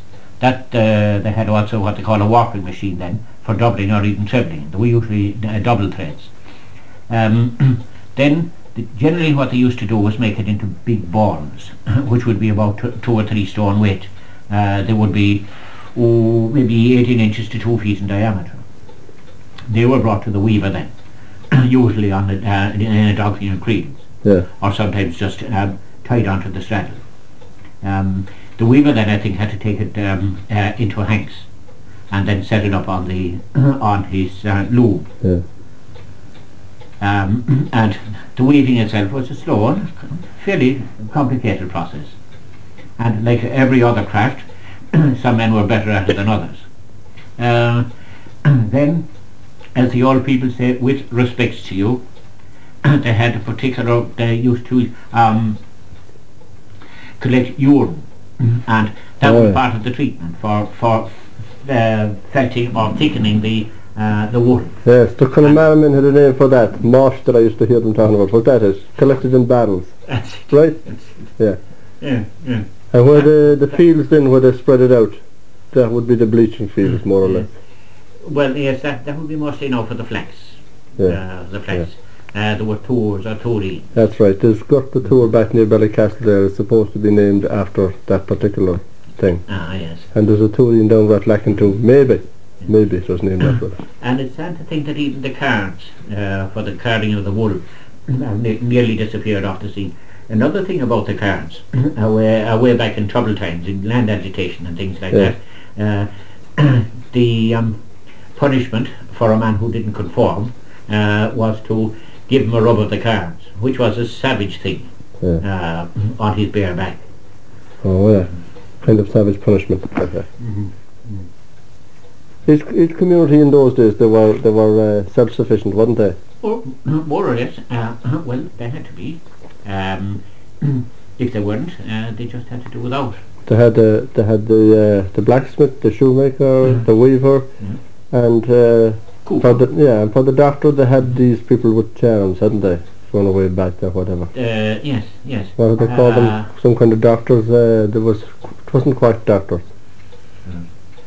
Mm, setters anyway. Old settlers, yeah, and Um, seven sons and the likes, weren't they? Yes, Yeah. uh, and peop- people then who had cures, and there were animal doctors as well who were Yeah, worse. yeah, yeah. There's there's a, a photograph now of a flax wheel, um, and this thing that was the pedal thing. There's a kind of a, uh, spindle out here with a little attachment. You can't see it on this one, and pressing that starts the wheel to spin. This then is the uh, spool that goes round, uh, and this is for holding the thread. You can raise it or lower it. That's a flax wheel. now, there's a woolen wheel which was a much bigger one. Now, and um, as I said, lots of people used to use the flax wheel uh, for spinning uh, yarn as well, for spinning the, the woolen threads. Um, over here now is the warp. Uh, this thing collected the hanks uh, and it, uh, it made it into hanks. Now, there's a size and a weight um, for one uh, every one of those, and I, I don't know. Did that spin now? Did any of them spin? Yes, this one. Uh, Yeah. yeah. Were they Yeah. spinning fast now or slow? slow. It would be fairly slow Yeah. uh, to, uh, to take up this. but normally, when they wanted uh, blankets made and so on, uh, as far as I can remember now, they used to uh, uh, to wind the thread into large balls, uh, which would be nearly that size now. And as I say, there would be two to three stone weight. Yeah. Um, and they knew the number of pounds of thread um, which it would take uh, to make an ordinary blanket. Yeah.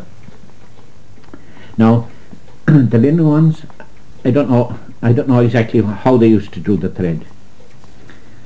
But um, again, it was brought to the weaver usually, um, uh, and he did the the weaving part of it. But I think that the the linen one uh, was in hanks like this. Yeah. Right. well, to rotate that now, uh, there was an attachment on to the um, from here uh, to the pedals.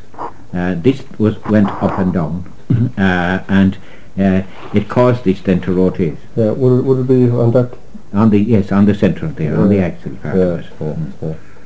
So that was the story of weaving. part of it, part of it, only a little bit of it. Yeah. Sadly, no, we haven't uh, we haven't a photograph there of the, the cards. Yeah. The only thing that's missing, I think, out of here, isn't it? Mm, yes, but th- there's now with linen, there's an awful lot more um, besides that. Um, no, before it reached this, before it reached this stage, um, it had to be pulled. Usually in July, they knew when the flowers were blue. Yeah. Um, then uh, it was buried in a, uh, a bog hole uh, until it rotted, until the outside uh, film rotted. then they knew the length of time to leave it there. It was taken up then uh, to be partially dried. After that then um, it had to be beaten to break this outer sheath to get at the strands of linen. Um, and then, oh, I can't remember now, that was beetling. There was flax ponds. There There was- wasn't a for wetting too, wasn't there? Uh, that's it. that's it. Um, then the uh, the beetling kind of broke the outer the outer sheath uh, and separated the fibres. Then it had to be clothed and hackled. I'm not sure which came first now, the hackling Yeah, or the clothes, yeah. but I think clothes and hackles. Um, and then uh, at that stage, um, it was tied together in, in bundles um, of s- single fibres. now, the spinning process uh, took over from there. Yeah. And I'm a bit uncertain from there on. Well, how was the finished product like? Was it something like the woolen uh, material? or would it be that again- close? There again, uh, you see, when they were spinning, they could spin a heavy thread or a light one, Ah, yeah. depending on what they wanted to use it for. yeah. Now, for towels and sheets and things like that, Yeah. they had a fine. The thing we forgot to mention earlier now is about um, dyes, natural dyes that they used to use for the wool. Um, and uh, I see here uh, in a magazine they talk about logwood dye. There was also dye that they used to make out of um, certain herbs and lichens and things, um, depending on the colour. Black was the one that was mostly used. There are a number of others as well. Uh, also, we forgot to mention about um, homespun suits, you know, clothing, clothing of various kinds. Uh, would be kind of a cross between a waistcoat and, uh, uh, and a coat. So it wasn't the material though. Uh, Well, yes, the the um, sometimes the front, the part of it that would be seen, would be shop cloth, as they used to call it, and the rest of it then would be made out of the woolen or out, out of the homespun. Oh yeah. Um, and um, the elbows would wear, so the sleeves could be replaced. The back would wear too, if they were carrying turf or uh, anything else. And in fact, there's a wish about long life. May you live so long that the skin of a gooseberry would make a back for your waistcoat. Um, yeah. Well, this this was it called a waistcoat or a shan vest in those days? Did they call them vests? Uh, well, the, the, the best was the ordinary was the ordinary waistcoat. Ah, yeah, it, yeah, yeah. Uh, yeah. But um, the Bonnian, I think they used to. Uh, it, it was what they used to call sleeved waistcoat. Ah, yeah, yeah, yeah. Something. There's a little description here now. The back and sleeves were of grey flannel, six buttons in front, and they are said to have been a nice, warm, tidy garment. Um, then the suits, especially for uh, for boys and young men, they were made also by um, a local tailor. now here again we're on to uh, a new idea. Tailors had apprentices, and to kind of qualify, uh, get out of their apprenticeship uh, and become a fully qualified tailor, they had to go through this stage of being journeyman tailors. Yeah. and usually they went round and they stayed in a house. Now they picked a house where there weren't kids, because if there were children, they'd, they'd, they'd um, be looking at their patterns and maybe uh, losing their needles and, That's and right, thread and yeah. so on. So anybody who wanted a suit made, they brought the makings, uh, including the trimmings. Now that would be uh, back uh, linings, buttons, thread, all the rest of it. And um, then they made a bargain uh, with the tailor. And usually when the tailor was at work, um, it, it was a kind of a holiday period because he had all the news of the countryside with him. and in the evenings when the work was finished, uh, there was maybe music or there would be storytelling or something, and certainly they would have got information from the journeyman tailor. now, a lot of the tailors um, might have been people who uh, had broken legs or uh, maybe weren't very healthy. Yeah, and this was a job that didn't require a lot of physical strength. yeah. And um, some of the tailors also had a reputation for being short-tempered. That's right. Uh, I've heard about that too. um, then they went around with a, a big smoothing iron, which they used to call a goose. I think that was because of the shape of the uh, of the handle at the top. Yeah. Uh, it was like a goose's neck. Yeah. That was a heavy one for pressing. Was he called journeyman now because of all the travelling he did? That's right. Yeah, But then you had journeyman carpenters as well. They went Oh, from place to place. Well, it would Uh, be, yeah. There would be one house in a village he would operate in until he had all the village uh, closed. Ah, yeah. yeah, yeah. Now, in some cases, uh, I would say um, a man with a growing family, they, they, their clothes would wear, would wear off quicker, and he could have stayed with them. But if he could, he picked a house where, um, as I said, there wouldn't be children to interfere with his work, Yeah. and when he could patterns, or there would be mis- mislaying things, or Yeah, losing yeah, them, or so forth. Another thing also that we forgot to mention earlier was this um, thing about quilting. And that was usually a kind of a community exercise as well. And the women of the neighbourhood came in and it was a slow and tedious and an expert job. And if you see some of the some of those quilts might still survive, and the the uh, the sewing is expert. Uh, they prided themselves on being able to make all the stitches of equal length, and the stitches were done crisscross. now, um, I'll quote this a little bit from the article I mentioned before. Quilts were made from flannel dyed red. This was packet dye sold in shops. Three or four width, widths were sewn together, backed with an old blanket usually, and quilted. Every village had a quilting frame. A couple of women would sit at it, stitching the two thicknesses together in a zigzag fashion. A girl getting married always got bedclothes, blankets, a quilt, bed linen, towels, etc. to take to her new house. This was called the bag of auras. That's, that's you know. uh, This was written by, um, what's her name again? Oh yes, uh, Liz Hagerty. She's Canon Miles' housekeeper. At present. Uh, yes. Yeah. Uh, and she comes from and she'd have gone to the trouble of checking every single item of that. oh, yeah. This is in the um, Ballycastle Parish magazine. Very good.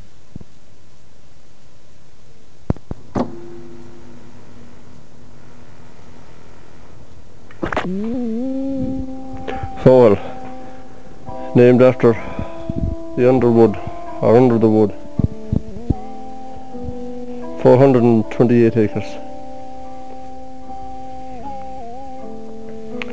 And there's uh, the spot where St. Patrick was supposed to have met the Foghill fishermen. And here is a giant's grave. And there's the road that runs through the Foghill Cross, the one that goes on to Banagher. And this is the road that comes down from uh, Brest and Turin down towards the Strand, running right through Foghill. And there is the Strand, where the Clonalhan River empties itself. The King's Well or Queen's Well, the Standing Stole called that Balbrini, and the the well of the palms or the branches. And here's the Lisheen burial place. Foghill, the townland named under the wood. And this is Upper Foghill. This fence running down here to the right is the boundary. The southern boundary. Running way over there. To the east.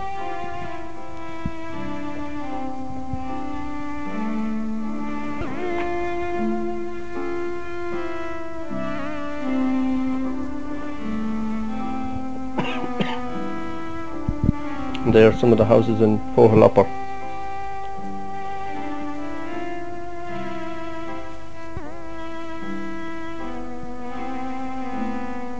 Now a fort, or this run, this road runs through a fort, which is an unusual thing. And there we see another fort, but it's not in Foghill. The wall there is the boundary.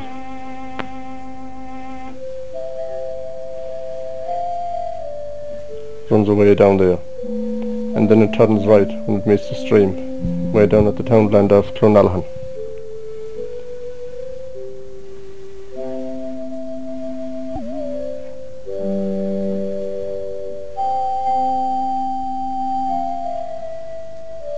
There's a view of the Foghill Marsh.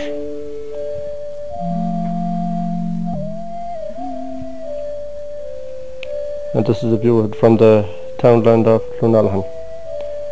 A river runs across here, right of that is Foghill, Foghill Marsh.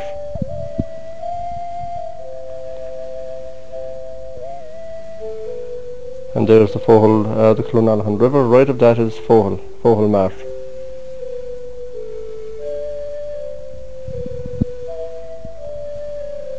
And down there is the mound where the St. Patrick met the Foghill fisherman. And uh, he asked him for a salmon and he told him he'd give him the next one. And the next one was bigger and he told him he'd give him the next one. Finally, after three salmon, St. Patrick was supposed to have thrown a stone into the river and said that no more salmon would be caught in this river until that stone was washed ashore.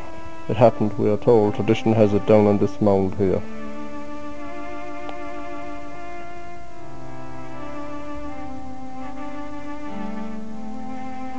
Now, left of that river is Killigary, Killigary Marsh and in the background is the ruins of Castle Castlelacken.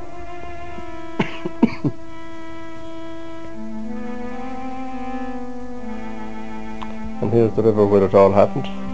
Probably St. Patrick's first landing place in this area.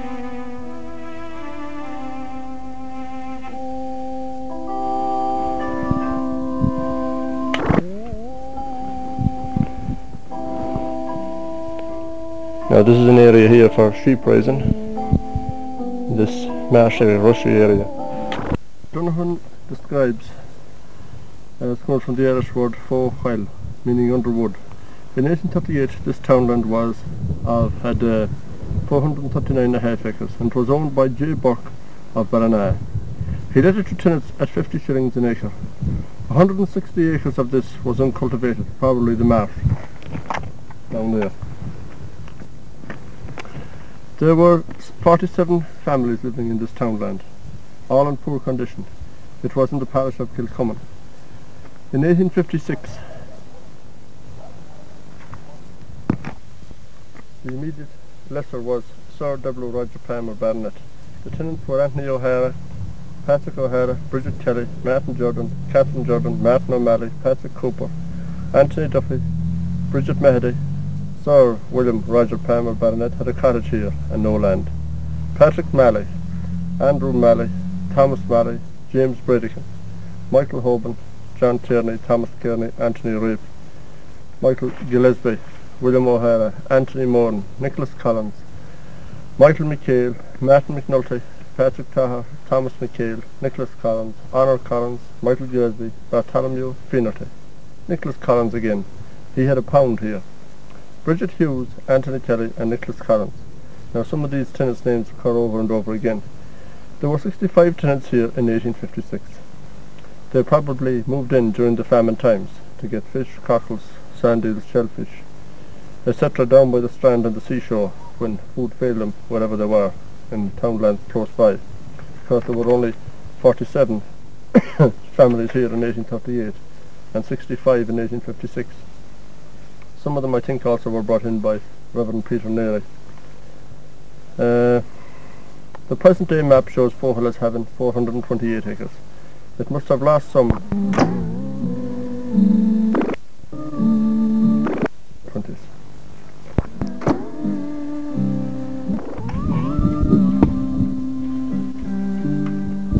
Now looking down at from Foghill Upper. This is Foghill Crossroads and the left here was McHale's where Dr. McNulty used to have a clinic.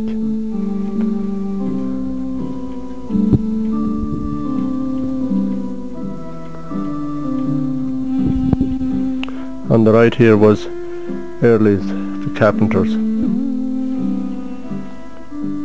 And on the left here, as we turned down, was the Collins's Forge. Now we're going down to what is called Tubberree near Franklahny's. In its water, Donovan says St. Patrick is said to have baptized King Owley and 900 of his people. Down here to the right. Tubberree. And that's it, right there. In pretty bad condition today, polluted. Condition today, polluted and filthy.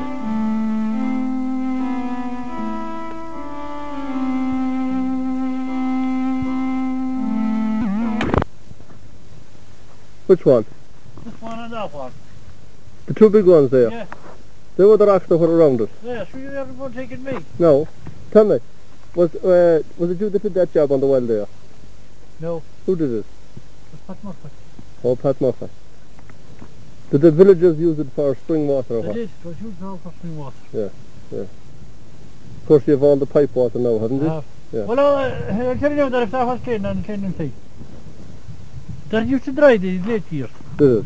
Used Yeah. Lot of stone. They sure like. Yeah. So they were the three that made up the well There were the three they were going around here in a circle. Yeah, yeah. And that, that wasn't... There was one within there now and there was one here and there was one out here. Yeah, yeah. And this wasn't around here on the wall, on the This wall, this wall wasn't in the tower. Oh, so I know, that was, that was a later edition, wasn't it? But uh, they done up that. It was about down to that. Yeah, yeah. There was an old house there. There there was a house where named Morton lived there. Yeah. He was in the. Oh yeah, Timber post there. yeah. I'm not sure now what it's called. A pound or not? A pound or not. But I have not talked. You did? I did. So it was around then? Oh, it was somewhere around here. Yeah. And there's uh, Barely the carpenter. that's right. Up here. Up there now. Where the, the, the Up above the, well, the white wall is. yeah. That's where he, the carpenter was. What's the other side of the road? He was on the left hand side doing up. Ah, yeah. It'd be in there. Yeah. And down here is the site of uh, Collins' Ford. That's where the forge is now straight from the pole there. Yeah. I what side of the road. Yeah. You And then the pound. Pound was supposed to be around there at the, Yeah. that holler. And uh, further down then was uh, Hobins where the... The Hobart the Taylor then was down further. Yeah. And still further down Magaruri came from it, did it? Yeah, me, me, good, yeah. To John Malius. Would he be below John Malius? If you just say, if be below John house, that, you see has changed. It has. Would he be below Frank Murphy's? No, but I tell you, like, from you, the state of Frank Murphy now, There's a little road going to the right. it's gone up? Yeah. Well, he'd be up there now on the right hand side, about middle way. He'd be, he wouldn't be all, they wouldn't be living all together now with his Merton Panels. Yeah. You know Yeah. that?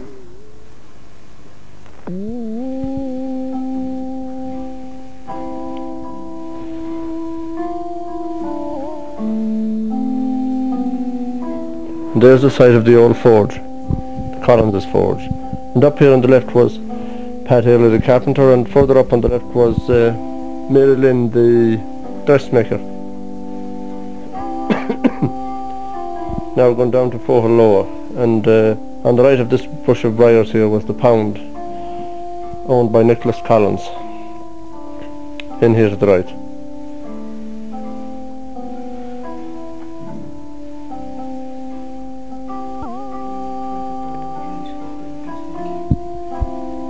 Now, here on the right is one of the Collins' houses. This village was all Collins' at one time, carpenters and blacksmiths.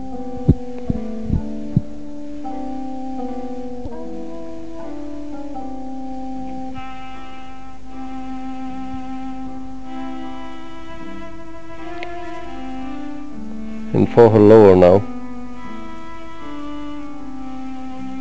And this house here was uh, Hoban's. They were tailors, somewhere around here.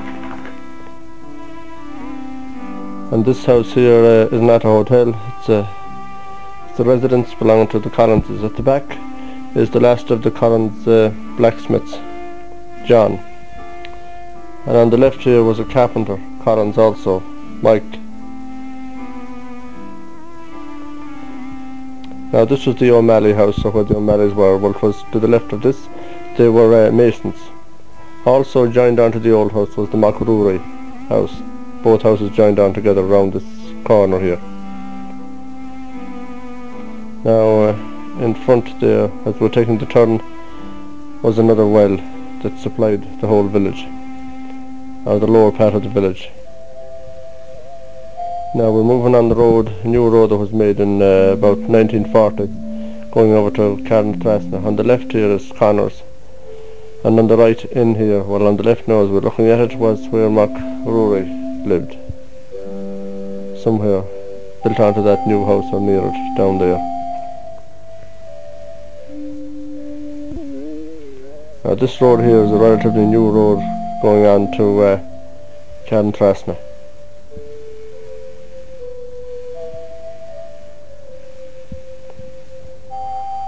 Down there is Loch Balbini.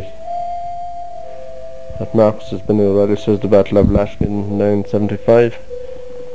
And over here is Tubber McGreeve, the Well of the Branches. The Blessed Well, St. Patrick's Well. Now down here is the Lisheen. You see the mound of stones around forth of some type or another just south of the Blessed Well. And uh, it was a burial ground. We see a tombstone there.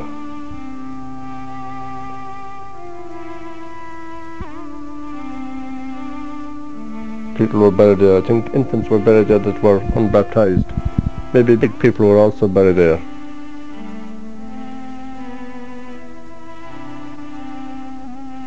And here in front of it is another kind of mound. I don't exactly know what this one is. Or what it was about.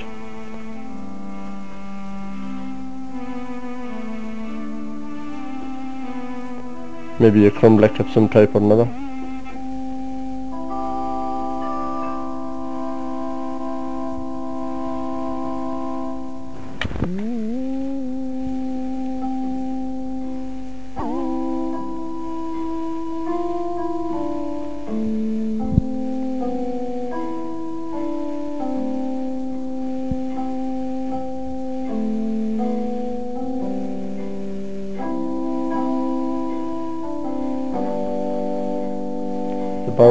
Goes up here somewhere.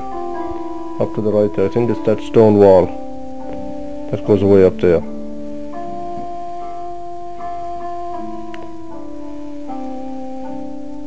And here's another mound.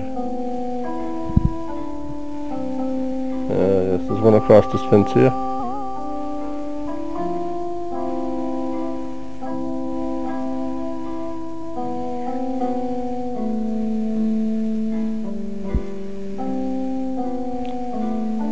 This area down here is important in Lacken because this is where St. Patrick was supposed to have first started his mission around here.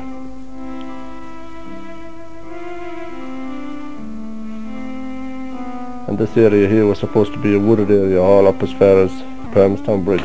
About that well there at Fine you were telling me there about, uh, She took water out of the oil say for putting on uh, tyres yeah, today and it'll be dry, it'll be dry tomorrow. even though there was plenty of water, No matter how plenty the water is dry. uh, how scarce it be. No, it makes no difference to dry. Is it dry? Good. Yeah. Good. So that wasn't the, the well at all for the village?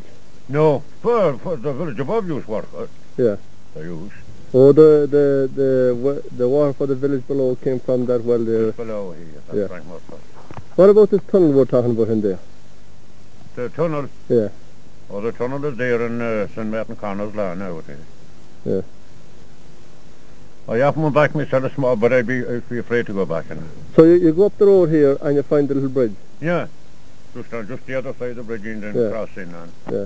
you're only about a hundred yards from it. Is it down the field straight then? Yeah, down the field straight. Oh, uh, would that be the mound of stones? That, Yeah, that's fair there, fair heap of stones there. Oh, good, good, good. I was looking for that. Yeah. Well, Foghill has changed now since you were a young fella, hasn't it? It's changed Paul since, since I was small. Was there as many sheep in it as what there is today? No, no, no, no. Very little sheep. Yeah. Very little sheep. And the two houses was fashioned out of them. Yeah. Goodness sake, gable to gable. Gables, gables. One gable, one, one gable was one, was, Ah. was one roof on each of them. Well, Yeah. well, well. The two, the two roofs was meeting. Ah, yes. So this is where he, he was That's born and very raised. well now, Yeah. That's now very well shown. like. Do you remember what his father's name was? Uh, Shorter. Shorsha. Yeah. And he had, had he had brothers and sisters too. He, he had, he had. Ah. Now he had uh, part and um, he had two brothers more. Right. And the fuck- John, John Rogers, Sean Rogers. Sean. Sean Ah, McElroy. Yeah. Yeah, yeah.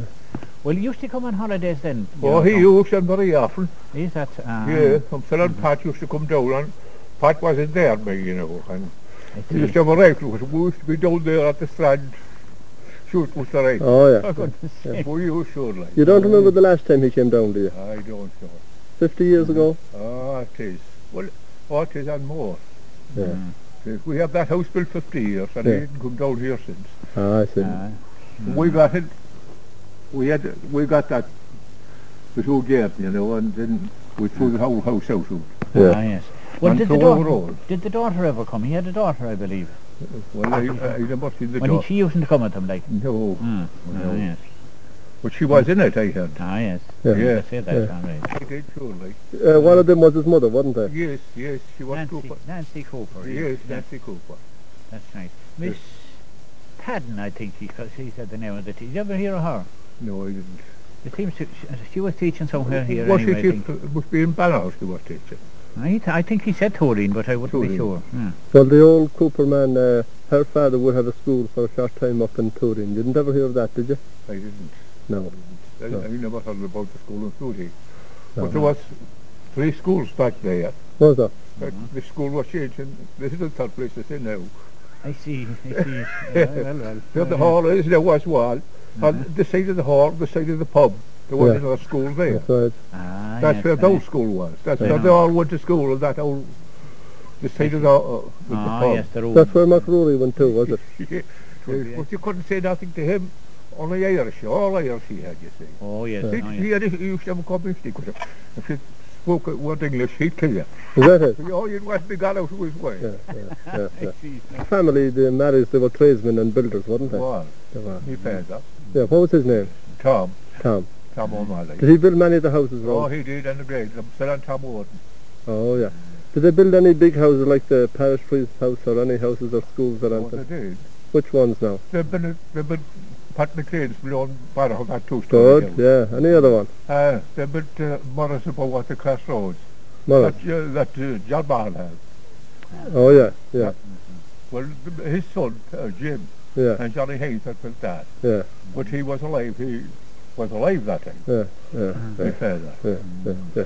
And Sean, and then beyond there the Castlelacken and Yeah, all. yeah. He Did they? They built one house or two there the Castlelacken and the house over there. Yeah, yeah. Don't you know, so, Indeed I do. Two rulers. Indeed I do, yeah, yeah, yeah. What he was, the captain of Shorely. Martin and Mike. Yeah, Yeah. Michael was his son. Wasn't there a carpenter further up the road in Airlie? Uh, Matt Nearly. Or Pat, was it? And Matt Nearly and uh, there was two of them. There was one of them was was an old man and the other was a young man. Yeah. They were up there near where Leonard is But today. Just for the war, Yeah. just now for another day. Yeah, yeah. That's for the war, surely. I saw that. Oh, he had. This is the cave back the road. Yes, yeah. yes.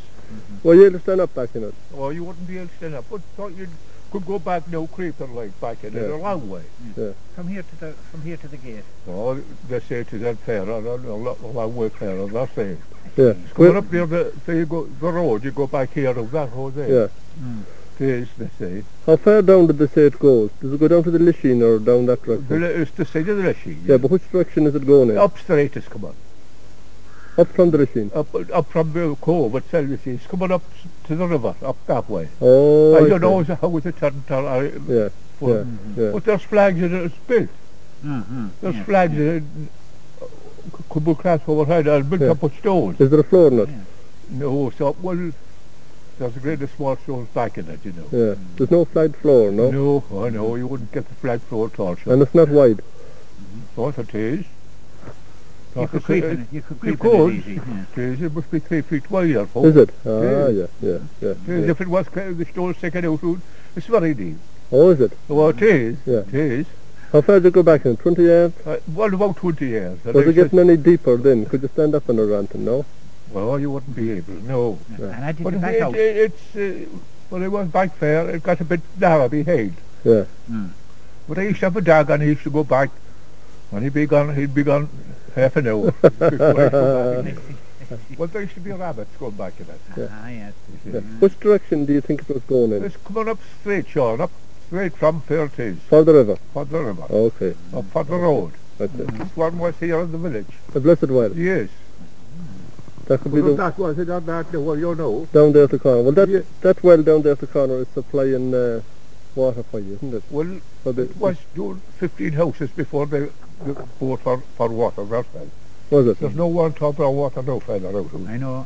But it, it's a pity it wouldn't be cleaned up and a pump was it or something. Yeah, yeah. Uh, but, uh, It's better than the one that was up there at uh, J- at Loughney's, wasn't it? oh, it never dried. Yeah. Never dried. And it's as cold as cold. for the butter making, they'd use it for the butter. Oh, Yeah, butter. Yeah. Yeah. It was doing all that to houses now further. Yeah, yeah. It was surely. Tell me, was there any special name on the one up at Frank Loughney's house? Poverty away? No? No, No. no. He says he's 85 years old.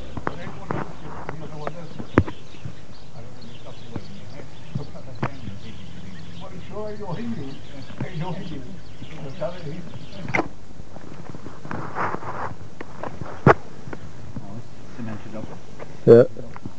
Like the other one, isn't it? Supplying water to the whole village. Uh, yes, that is it. Very, very cool. In fact, they used to do that, I think, uh, sometimes for the butter making. uh, to make sure that it was doubly cooled. Draw the water in the evening. Uh, and if the butter, would, which is summertime especially, in warm weather, if, uh, if the butter was uh, too soft to make it up, they'd wait till evening time and then bring a can of water from the well and to, uh, that is to inherit it. Yeah.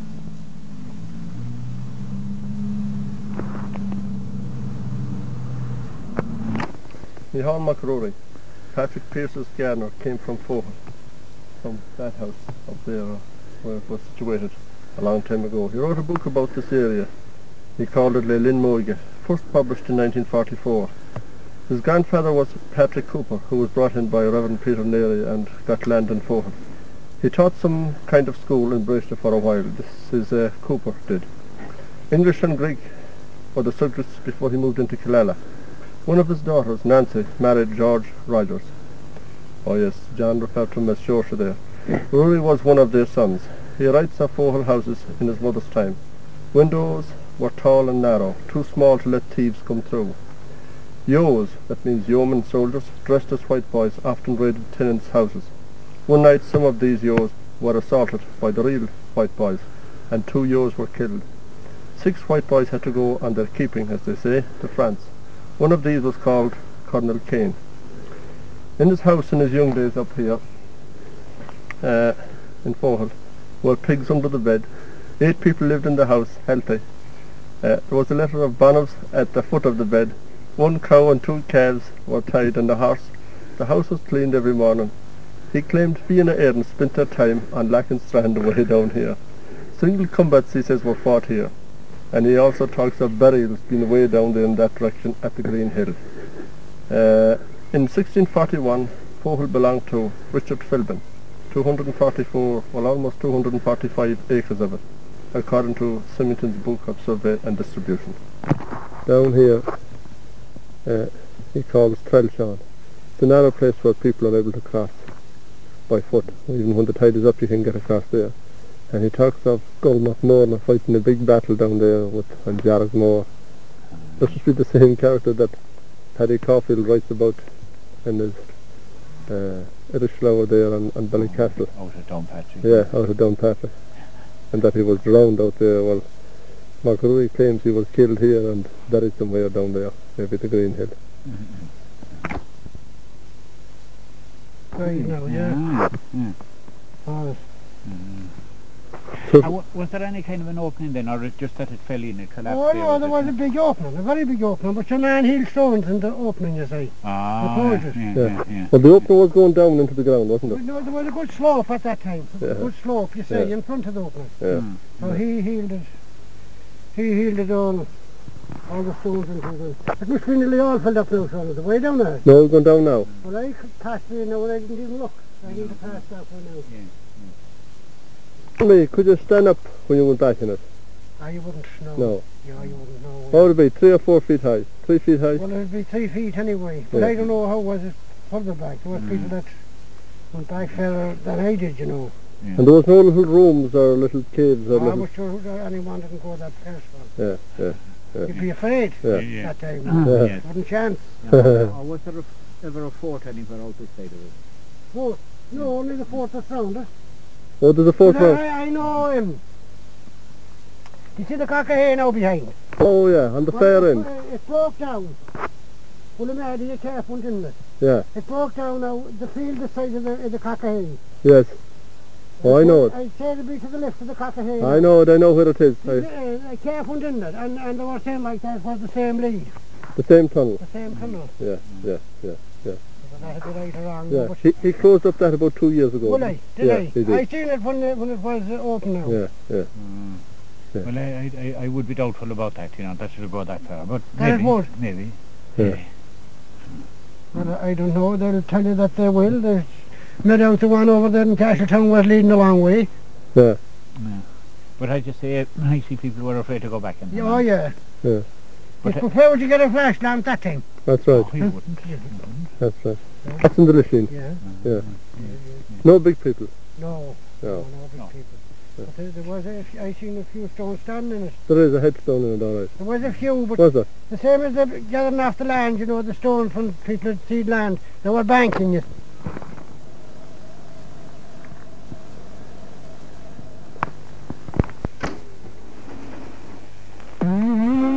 Now this is the fort, that's where the tunnel is. And there's a little fort here. We can see the extent of it. Built up with rocks, piled in by the people of the land. The outer edge of the fort, I think. you can see down there the, the beginning of the escape passage. now, the, the, the construction of this one is a bit unusual. Goes out there, uh, it would have gone through that fence out the other side to complete the circle. but then when you come inside here, there's another wall which is about two feet wide and it curves away to the right here and you can see part of it on the other side you can you can see the curve there where it curves away to the right. now there's a depression down there, uh, and that could be part of the uh, escape chamber where the roof has collapsed. Another possibility, except that uh, it doesn't exactly fit. Uh, it looks like the wall of a lime kiln that somebody in later years um, started to burn lime uh, on top of this lisheen, which again would be most unusual uh, because people had a kind of a superstitious respect for them. And they thought they were places where the fairies lived. and the less you had to do with them, the better. Yeah. This is what they call the tunnel. Yeah, yes. Um, and from a man now who was down in it, um, he said it was about uh, four feet high, or maybe three to four feet high, same width, covered over with big flags. Yeah. Um, and he said it went for the for the, for the river. Yeah. Well, that would make sense if it's an escape passage. The first thing they'd run short of was water, and that was the usual thing uh, in these farmers' houses. Uh, Yeah. That if they were attacked by, say, by wild animals or other people, uh, if they were besieged, uh, It would move. had a secret way uh, down for water. Yeah. Would to pick up? There's a line running down there um, through the field. Uh, halfway over then there's another one. Over in the other patch uh, there's also another one. and these would be the divisions uh, between the sections of Rundale. Those are what they call the Queen Lodges. Yeah. Uh, and you can see them there. Now on a sunny day they come out better. Yeah. So this is all a Rundale Kilo judgment Um, down yes, here. I say all of this land, yes, uh, was divided. And I think in the other field you can see another one. You can see an, Another one runs down here. yes, yes, and they would be there, I'd say, from before some of those fences were made. Well, over here is Lisheen, and there's the remains of another one over there. Yeah, so that's three of them within about 200 yards. And some say that the tunnel from here goes over in that direction. And far out towards the Cockahare, left of that house there on the top of the head. They'll be up there in that direction. well, that'd need checking again. Oh, indeed. And we here now, uh, you have four hills, and you can see two clusters of houses. Uh, the upper village uh, and the one lower down. And it's a very ancient name. Uh, and it gets its importance from the fact that it, it's um, mentioned in uh, St. Patrick's Confessions. Uh, well, that's the name of the document that he wrote. there are two genuine documents concerning St. Patrick. Uh, one would be this confession, and the other one would be the, the letter to Coroticus. And um, I'd like to quote you here now from an article by Bishop MacDonald, uh, out of the confession. there, that's after his escape to Britain, quoting, I saw in the night the vision of a man whose name was Victoricus, coming as it were from Ireland with countless letters. And he gave me one of them, and I read the opening words of the letter, which were the voice of the Irish. And as I read the beginning of the letter, I thought that at the same moment I heard the voice of those who were beside the wood of Foclut, which is near the western sea. And thus did they cry, as though with one mouth, We ask you, holy youth, to come and walk among us once more. now, there's more written uh, about Silva Focluti, uh, and or well, it's turned into uh, at least half a dozen different uh, interpretations. what we can say about it is that there's an ancient tradition which goes back a long, long way uh, to say that it was from here that uh, that St. Patrick heard the voices of the Irish. now, part of the puzzle is when he said, come again and walk among us, which inferred that he had been here before. Yeah. Now, if he uh, was a slave uh, at Slieve Mish, uh, it's difficult. To, I don't know how you would answer that one. And again, uh, these are where the answers come, and, and they're different. Now, where he uh, was captured uh, and where he lived as a slave, even where he was born, uh, it, all those are disputed questions. Yeah. Well, now, the, the heights over Foghill there were supposed to be wooded, because Foghill is named as Underwood Fochile, so that would be the height.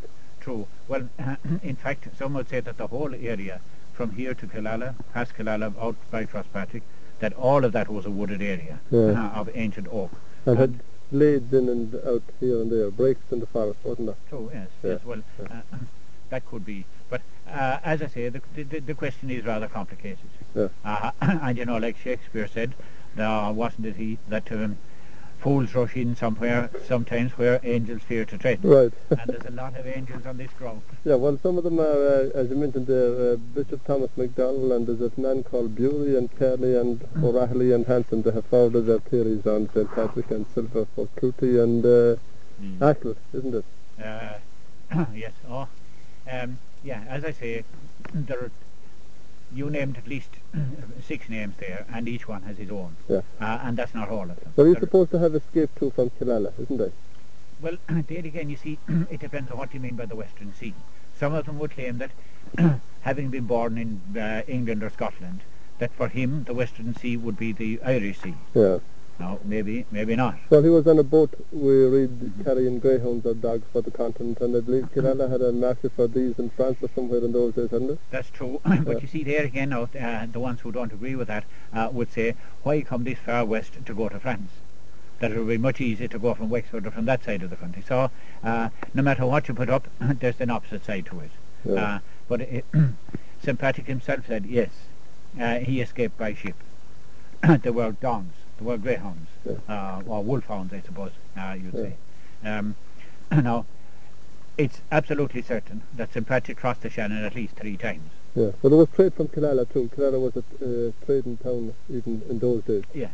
yes, that's true. Yeah. Um, that's true. Uh, in fact, we could even venture further and say that long, long before St. Patrick's time, 2,000 years before that, some of the first people to arrive in Ireland Came uh, along came along the west Yeah, coast. yeah. And there's evidence of that in the, the um, monuments or artifacts and so on that they left uh, along here. Yeah.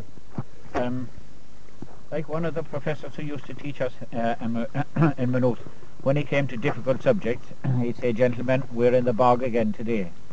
and we're a bit in the bog now. This um, article uh, by Bishop MacDonald uh, is in the annual of the North Mayo Historical and Archaeological Society for 80, 1982. Um, and he sums up there uh, something about the sources and the different people who'd written and the different views they had and their interpretations of what silver for, for Clutie meant. Um, and there's about 15 pages in it. Um, there's devotion to St. Patrick here. There's a holy well.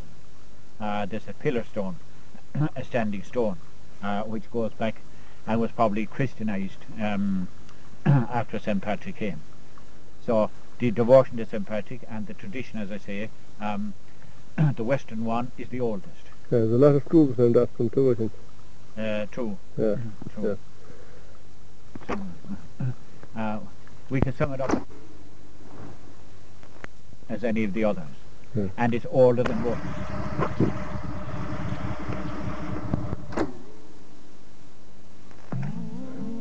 This house here is uh, Farrell's, a Foghill. At the back of it was a shop that serviced the village for uh, the townland of Foghill for years and years. Here also lived in the 40s and 50s John Burke, who taught in Carramore Lacken National School and who also became a divisional inspector. Over there was an old house on the left where Dr. McNulty used to hold his clinics.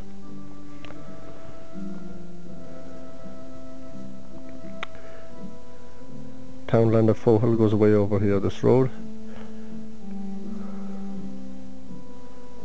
Both sides of the road. Now we've reached the boundary here. This is the ditch going up here, the fence. Over there is uh, Foghill. Here's the fence going up, then winding way out to the right here. And going across.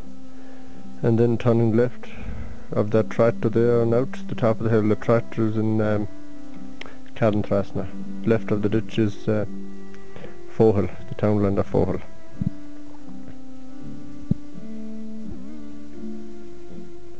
And here we see the boundary on the other side, that ditch going away up there. On the right here is Foghill. On the left I think is Cashel.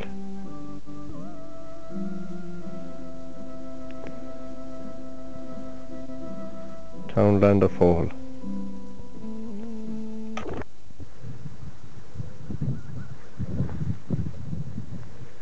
Sedimentary rock. Not limestone. No, no, it's, uh, it's, uh, Not shale either, is it?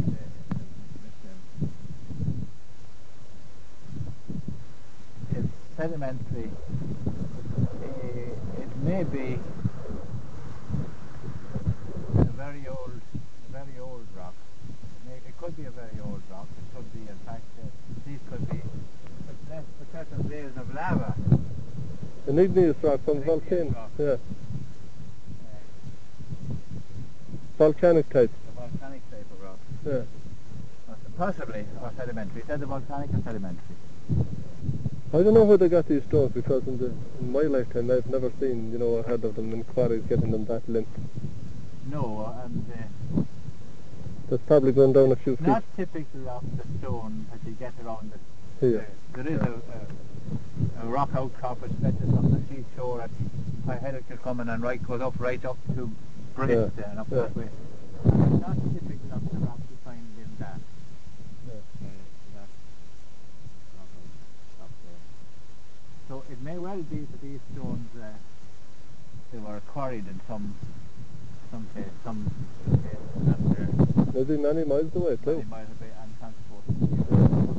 Now, we mentioned earlier about the possibility of it being connected to St. Patrick. Yeah. I doubt it very much. Uh, St. Patrick uh, was a busy man Christianizing pagan. And uh, I don't think he would personally be too bothered about putting up stones to commemorate what he did. If It could be done by maybe some of us. Uh, Yeah. And if they were, if they did, they'd have crosses or something or there's some uh, Christian sign on, wouldn't they? I'm inclined to go for the Ordnance Survey. First Ordnance Survey was started in 1828 by, and the team here in this area were a man called O'Connor and a man called Donovan. Now Donovan was headquartered in Castlebar or up there, and O'Connor was the man in the field. And it was known as the Down Survey. The reason it's called the Down Survey is the man who actually superintended the uh, exercise uh, his instructions to the big people put out into the field was to put everything down. Yeah. So uh, they put everything down, even things like this, and improve the stones on the field and cromlechs and things like that. And when Donovan, Donovan and uh, O'Connor were historians in their own right, I would say yes, the, the, the reason for these stones. And he associated them with battles fought and won or, or lost, and uh, he says in relation to this particular stone that it was to commemorate the defeat of the Danes. The Danes tried several over many years, and uh, the Norsemen or Vikings tried uh, several, uh, made several attempts to gain a foothold in Ireland. Yeah, One invasion. was here in Lacken Bay, yeah. and uh, the date he gives, or somebody gives, I'm not sure now, my recollection, it's been many years since I read it, was uh, about in 985, maybe 25 years before Clontarf Yeah. uh, thereabouts. And that the stone was put up to commemorate the defeat of the day. Yeah. uh, at that battle.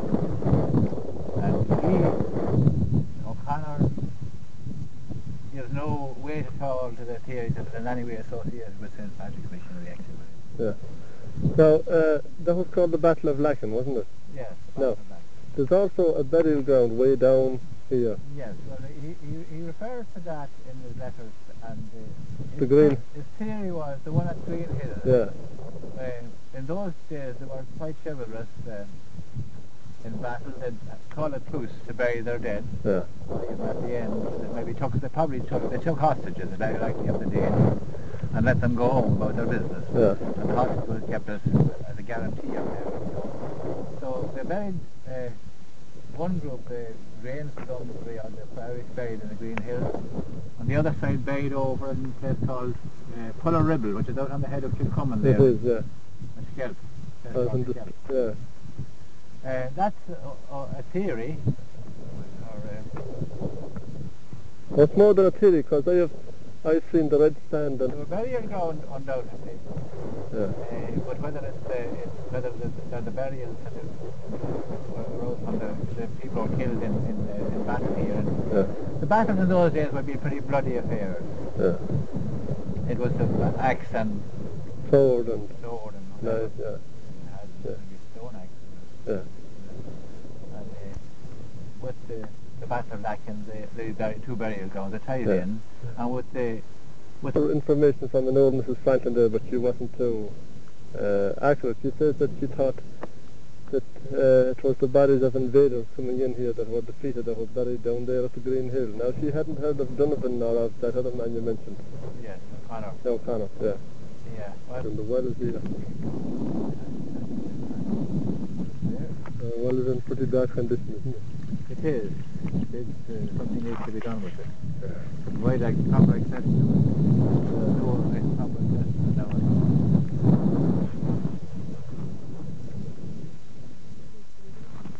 to it tradition there for going back hundreds years. Uh, that's where the first baptism of the people around here was carried out. So there was 12,500 people baptized in one in one go. How it was done, I don't know.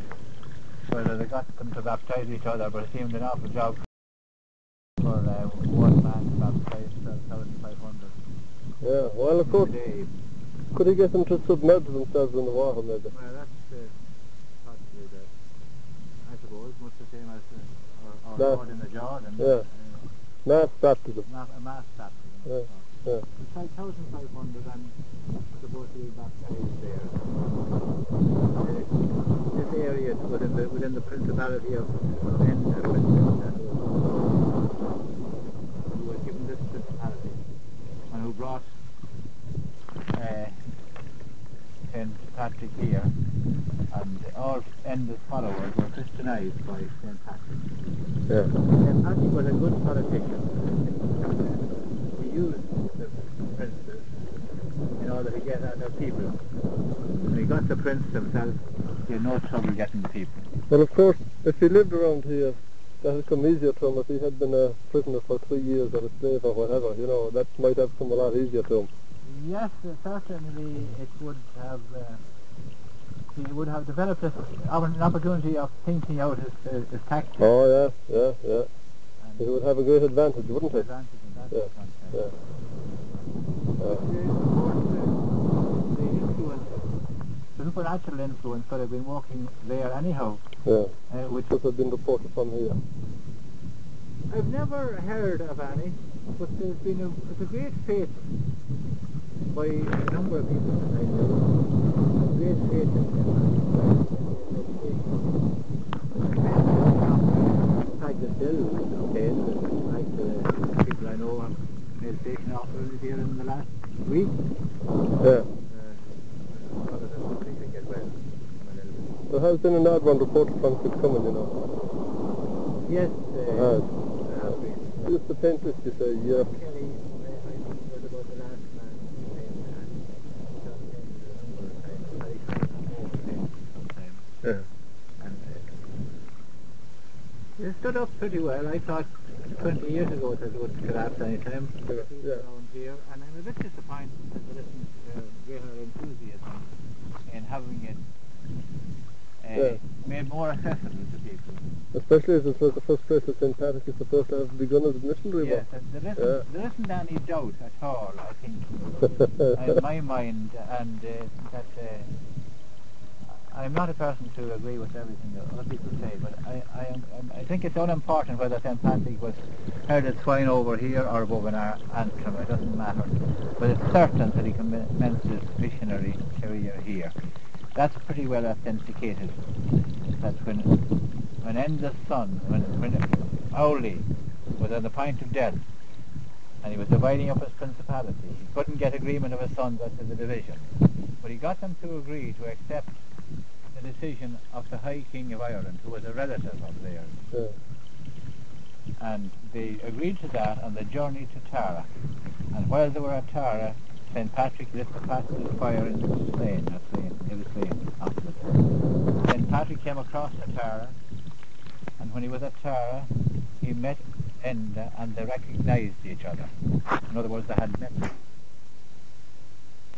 Whether that's what happened here, or whether it happened in, in Antrim, where Enda might have been in Fosterage with his uncles, I don't know, but it's not important. But Enda brought him here, he commenced his missionary activity here, and he that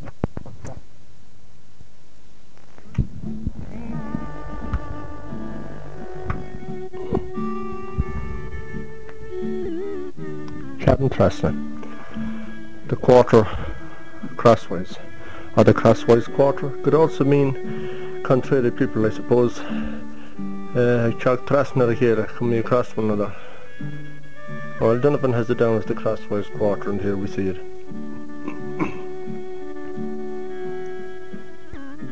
now that's uh, Upper Carntrasney, Carntrasney, and uh, Lower Carntrasney out on the north side. And this is the contour line 100 feet over sea level. And this is the southern tip of the um, townland at um, Cashel Lake. And there's the road going through to Banagher. Now this, uh, there's no road here, but there is one now. There's one. The, this one is not on the map. It goes on to the present road and down into uh, again. It was made uh, 50 years ago. now that Cashel Lake down in the south, southern corner is also called Banner Lake locally. That would roughly be the uh, direction of the present day new road as they call it that comes up here.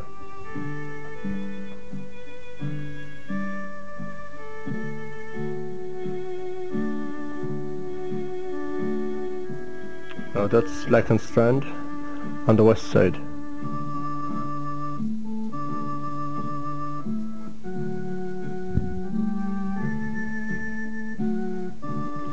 crosswise quarter this is what it looks like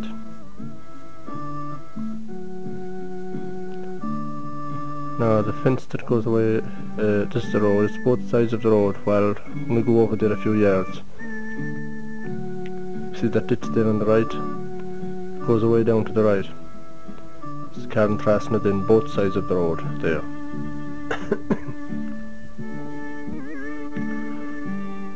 Now this is looking ahead from the east side, looking west. And there's the boundary that drained there. And on the right there where these reeds are grown was once Cashel Lake, or as the people call it, Banagher Lake, I believe.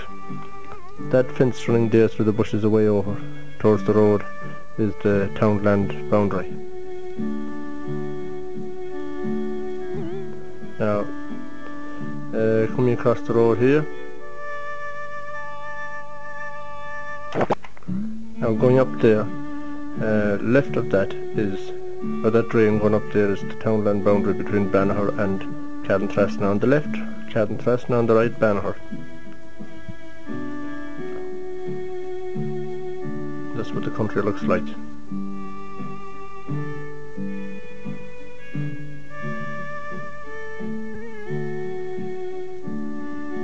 Now this is the new road up by Collins's on the left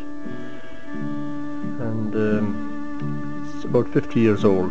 This would be Upper Cadentrasney, this village here now we're looking at. Most of the houses that were in it in 1838 are not here now And over there on the right was a quarry. I think they used to call it Quarry Hill. Stones came from there. We see the wreckage of old houses or the remains of them. People have immigrated from here and changed up around Palmerstown and Mine. This was the new road built. It is down as uh, Cardentrasna. O'Donovan of 1838 survey has it down as the crosswise quarter coming from Trasna. In 1838 it contained almost 230 acres. Since the last revision the acreage has increased to 237 acres. This townland also included over 3 acres of water which was down there uh, in Banagher Lake or Cash Lake as should, it should properly be called. Half of Cash Lake. Uh, this lake was known locally as Banagher Lake. In 1838 it was the property of Richard Irwin, who was living in Dublin. His agent was George Irwin of Greenawn, Ballina. Uh, 33 farmers and 6 cottagers lived here in 18, around 1838. They grew oats and potatoes. Carrickfester was in the south of the village. Now, down there is uh, Upper Carrickfester. Here, this village behind me here is Carrickfester, and farther down is Lower Carrickfester. Three villages in the townland of Carrickfester, all named Carrickfester. Uh, the villages are 100 feet over sea level. In 1856, according to the Griffith valuation, the uh, immediate lessor was Mrs. Irwine. The occupiers were Henry Robinson, Thomas Loughney, Lackey Munley, John Munnelly, Michael Munnelly, Lackey Munley, Patrick Murphy, John Loughney, Anthony Duffy, John Duffy, Michael Duffy, Anthony Duffy, John Duffy, Michael Duffy, John Munnelly, Michael Munnelly, Michael Collins, Patrick Collins, Bridget Ford, John Loughney, James Murphy, John McNulty, Patrick Welsh. 23 families. The number of families declined here by 10 during the famine years.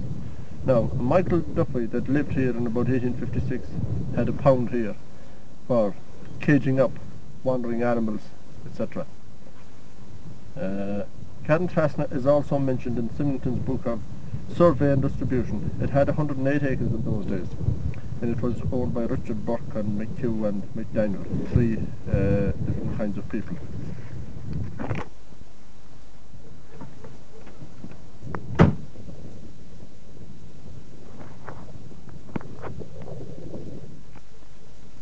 The boundary wall down there now, isn't it? Yes.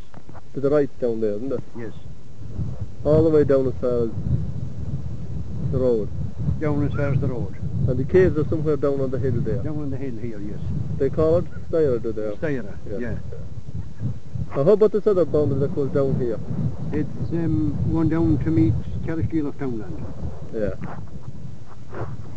Goes all the way down to the stone wall, It goes down to the stone wall there. Can we see it from here? You can, see the stone wall just up here. Oh, yeah. And uh, that's the, the, the them pillar stone. Oh, yeah, well that's in the next townland, isn't it? Yeah, it's in, in, in Banagher Townland. Yeah. I'm this now. All over here is... Yes. Now, you want me to, Oh, you... to face the music? Mm. The roadway leading up there, that's where Pat Robertson originally lived, the Mayo footballer. Yeah. S- Supposed to have the longest kick in Croke Park, longest free kick in Croke Park. Well, it's still supposed to hold the record anyway. that's right, Yeah. that's right. That blue house down there. That blue house here, that was his original house. Well, it was the last one he was living in, The wasn't last one he lived in. So the original one would be... The original one is just down here where the staples there. It was, in fact, it's not now, but it was there, it was attached down. Ah, yeah. Oh, yeah. Now,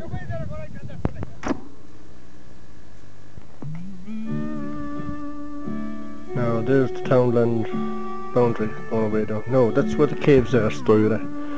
And we're in the east, uh, the western now, looking down towards Lackenstrand. That drain there, as it moves down and winds down towards the statue on the strand, is the boundary between Foghill and uh. Over here is Cardentrasna, all the way as far as the stone wall over there. Way over there. Between Carricksteel of Townland and Carrickfasna. House up here now. Um, that's Musford now. It was, originally it was Dublin. Yeah. Now it's Musford. Come up there now, it's Dublin. Here they had the pound. Yes, the, the pound was here now and was owned by the Duffy family. Well, Michael Duffy, that's down in 1856. Yeah, Michael Duffy. Yeah. The, uh, what his great grandfather, the present crowd now, Yeah, the Murphys yeah. family. Here in this. Yes, inside here, no, that's where he. Yeah. And the water running down there. to. Yeah. Is that right? Yeah. The pound was here and the water coming down.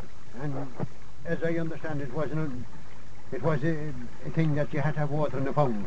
Cattle there, they wasn't fed, but they weren't allowed to be thirsty. Yeah, They always had facilities to drink. yeah. So it was one of the things necessary. So One of the things Yeah, necessary. one of the necessities of a pound.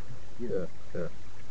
What was it for? Holding stray donkeys mostly, was it? Uh, stray animals and uh, the other thing if at the time if a neighbour's animal went in in your field, well you had the option of putting them in the pound Yeah. and he'd have to redeem them then pay so much on them to redeem them. And if he didn't, would they be fed or starved or what Uh, happened? they'd be there for so long and if they weren't claimed they could be auctioned and sold. Oh, see. nine days. Nine days, was that? That's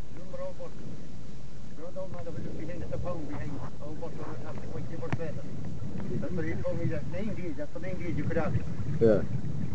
Now, Oh, it's not 25 now. But we say 20. this village up here, Yeah, this is um, Lower Cantra. known as Lower Carntrasnight. Yeah. What known in Irish as Yurterbalya. Yeah. Um, about 20 years ago, some of the last inhabitants left it. They built houses away up, Further up the village. further up the village, Yeah. built new houses. Oh yeah, some of them immigrated up to different townlands up around Palmerstown too. So, yeah, some of them immigrated. Like Right. cash, was it? Some of them immigrated from Cash. And Yeah. The houses were like these, this Yeah, one up here. They were thatched. ordinary thatched houses. Uh, room and a kitchen mostly. Some Dad wanted them two rooms and a kitchen. Yeah. Ordinary all thatched houses. There was no stated house at all at that time. And far up the village then here was Bailan Kampa, was that right? Uh, yeah, Ballycampa was further up. Uh, Yeah. known in Irish as Oakley. Get you the camera. That's the house of uh, Pat Robinson, Malachy Cairns. Oh, this here is uh, where you saw the cave, Jimmy, isn't it? This is cave here. And known as Saira. Saira. All this area here, is it? Yeah, known as Saira. Yeah. And the incident, the incident for this cave, I came out first about 10 years ago. Did you? And it was open. Yeah. and I went down into it. Yeah. And I went about three years over that way, or four three years, say. And it was built on both sides, flagged on the bottom, uh, flagged on the top. There was, no, there was no muck or anything, no concrete or anything, you know what I mean? Yeah. Could you stand in it? Stand No, up. no, it was on my hands and knees. Yeah. When I went back to the I got afraid I returned again. Could you stand up when you went? Did it, was it the same? It was the same all the way, as far as was for three or four years, Yeah. Yeah. and I returned. Yeah. So came back again. But Was it dry? Dry in the bottom? Dry in the bottom, dry in the top. Yeah. Uh, everything perfect, clean Well a pin. Yeah. And I came back again anyway. But finally, about two years after that, an animal fell into it. So we turned around and took the animal out and a lump of stones and threw it into the, the road clear as you see there now. Yeah. yeah. For the badger. Yes. Yeah, the hole is there, all right. It's there. Something Look at here, look at the building. Something I do, yeah. See the side over there. Now this cave goes on this direction, towards the wall. Now this, looking at it here, it's a raised fortification. Or there seemed to have been some kind of a raised fortification here in the time gone by. It's higher than the rest of the land. Called Styra, or the stairs, I don't know why. There seemed to be some um, fortification in that cave there, would uh, account for an escape hatch. Now it goes out into the next field too, and the cave is supposed to go on down towards uh, the sea or over towards Cushlanagriha in that direction.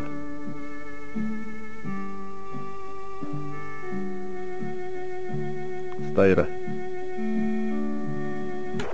Cash McGee down to the, the left of that. That's where Mary's grandfather. Yeah. Left of Cushlanagriha, is it? Yeah, at Cushlanagriha. It's to the left of Cushlanagriha. Down probably five or six hundred yards. to the That's, that's where they think this, this cave comes out. Yeah, Yeah. That's, that's what we're... Mary father told me. I'm not saying that. supposed to be um, it was known as um, Lobby um, Grania and, and Germa. They were supposed, Dermot and Grania were supposed to have a bed there. Where? Uh, Castle McGee. Oh, down there. Yeah, in, in the old castle. Yeah. Good, because that's another uh, connection with the sea now you found here. Yeah. You know, um, right on it too.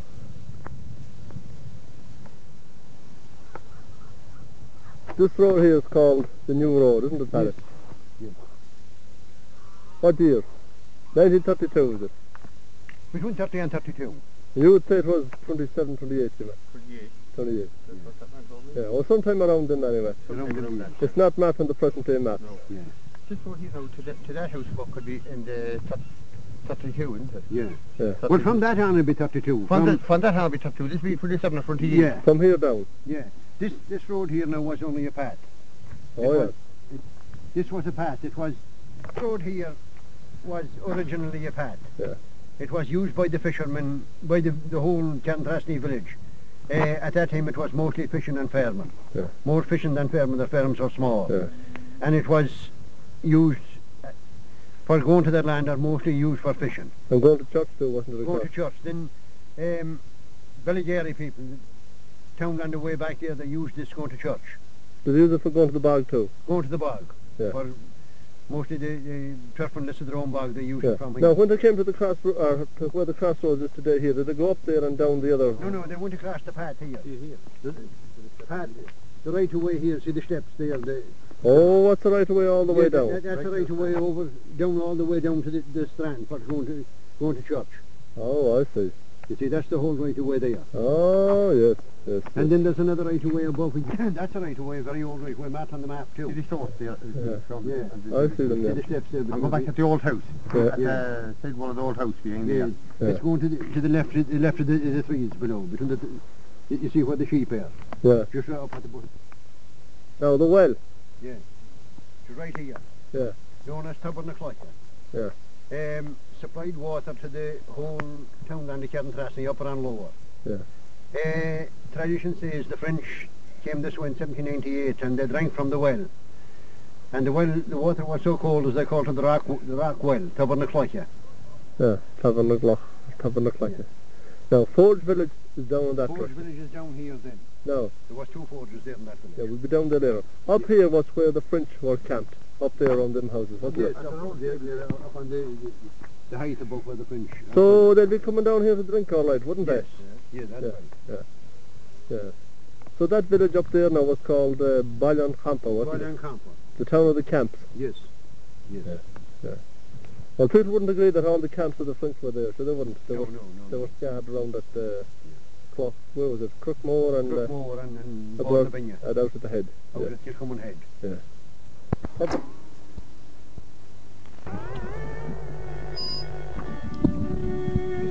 Now this here is uh, Carntrasna upper, one of the Collinses, and they had a forge up here where these two men are standing here.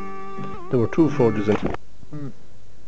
Forge village, Forge Village, um, in Lower Carntrasney. yeah, in the townland, yeah. In town and Lower Carntrasny. This was, um, Forge was Tom Collins, was the man that, worked here and his, it was a traditional handed down thing. His father before him and his grandfather all worked on the same forge. Yeah. Uh, there was another forge here now, just across the road here.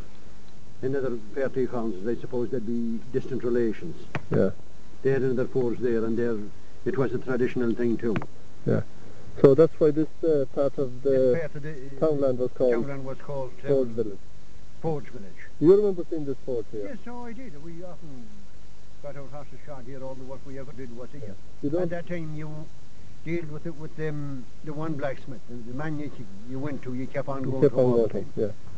That forge working now. it was- You don't remember seeing the one that was in here? No, well, the, the, the walls were there, but I never seen any work done. Yeah. How long ago since this one was in operation? It'd be what um, that'd be roughly 25, 30 years ago. 25 or 30 years ago. Yeah. Yeah, yeah, yeah. Right. Quarry inside here for house. Yeah, freestone quarry there. That there was stones quarried for houses. Both sides of the road, isn't it? Um, both sides of the road. Yeah. Village of Carntrasna lower. Carntrasny lower. Although it's higher than the one that's upper, isn't it? It's higher, and it's to the north of it too. Yeah, yeah. Um, It's also called uh, a different name, isn't it's it? It's called Malachampa. Yeah. The French were supposed to have camped here in 1788 Yeah. on their way to Killala. Lala. Killala. Now, the exact location of where the camp would be, uh, Or back, probably up here at Old Back, yeah, up on the Where the- hill. Up that green field up on the hill there. Where that white horse is in there. is grazing. I can see him from here. right, yeah. Yeah, in there. That's where they came through like. Uh, this village has been peopled, I think, are inhabited by Contrary people. Very much so. Yeah. Very much so. The land, um, the houses were congested. The land was congested and there was a lot of trespass with fowl and geese and one thing and another and that caused a lot of friction among them. Well, they had a rundales here too. It was all Rundale. It was Yeah. all, the whole townland was all Rundale at one time. Yeah. Maybe uh, it's supposed to be called uh, the Crosswise Townland, you know, situated crosswise. Maybe it was because they were also contrary. Uh, probably so. Yeah, Probably so. yeah. But then they weren't really that bad altogether, were they? Uh, no, no. In other words, their back was a lot worse than their bite. When it came, when it came to a point, anyone got into trouble or anyone got sick, the whole village was in Yeah. to help out. In other words, when the crunch came, they were When the crunch came, they were there. Even neighbours that weren't talking, they came in and helped us. Well, it was all it was all kind of petty stuff, though, Well, wasn't it? yeah, Yeah, Now down here is the site of the the house where the year of the French. Yeah, the year of the French were the eviction scene, where the eviction scene was. Yeah, one of the shoots for Yeah, for the, the eviction scene. yeah, down there. And uh, There was a house belonging to who? Uh, it was Murphy's. belonged to Lou- Murphy. Looster, if you call him, was it? Yeah, man, What was his right name? Pat, Pat Murphy. Murphy. He was nicknamed Lewis Murphy. And that would be a house that looked exactly like the original houses that were here Exactly, in it was, 1798. exactly. And everything inside the old dresser and the, the, the bed with the canopy over it known as a, as a, a tester. Right, was there. It was all there. The whole thing was theirs, as it was probably in 1788. And the harness over the fireplace. And the harness o- over the fireplace and the whole lot. A whole lot. And the line over the fireplace. The fishing line over the, hung over the fireplace. Yeah. Yeah, yeah. And the beam at the end of the house. You know. So, the village of Carntrasta.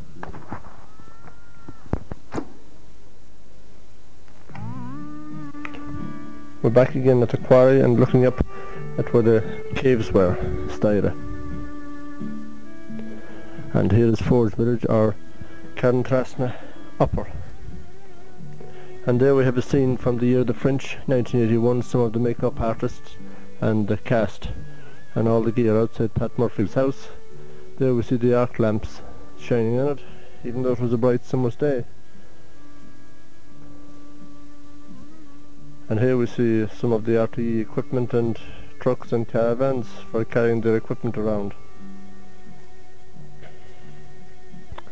And there are the camps set up to house the artists. 200 years almost after the French landed here, there were camps here about 200 years before, and there we see the situation of Pat Murphy's house down there, where the eviction scene took place.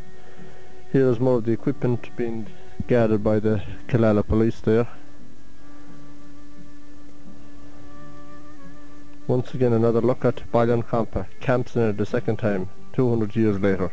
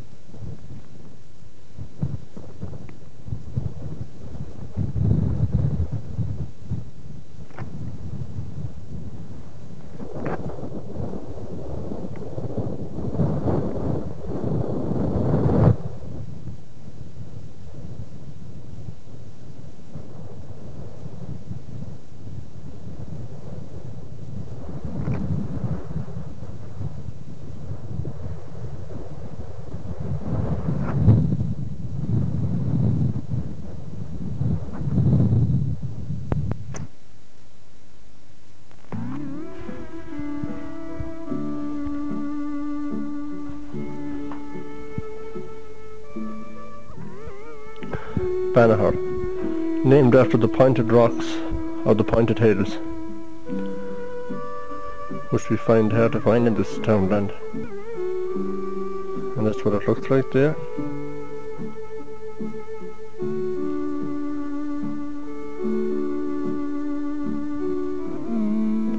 There's the road from um, Cardentrasna way over to Ballygarry and down to the coastline. This one comes down from Cashel. That's the site of Old Banner School, built 1892. And uh, there's a road going up there called Doyle's Road or Doyle's Boatin or Boher Doyle. Here's the site of a fort and there's the site of a pound in the next townland, Ballygarry. there was a village here and here's the site of the standing stone.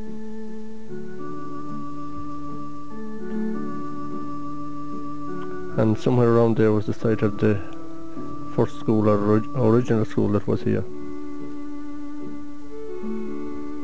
That's the contour line, 100 feet over sea level.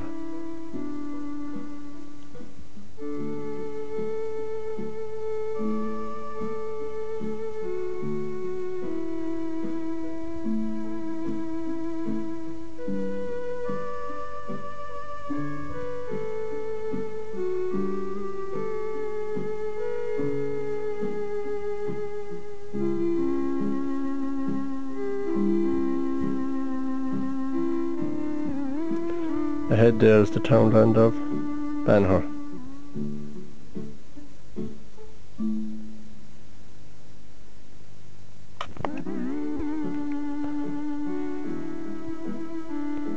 From that bridge forward,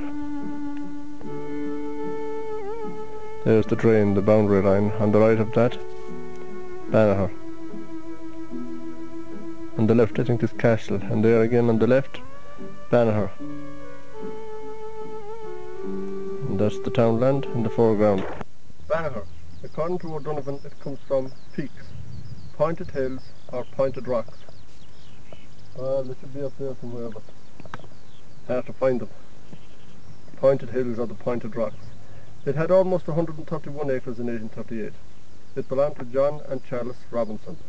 Uh, they lived up there and that, uh, right at the school there somewhere.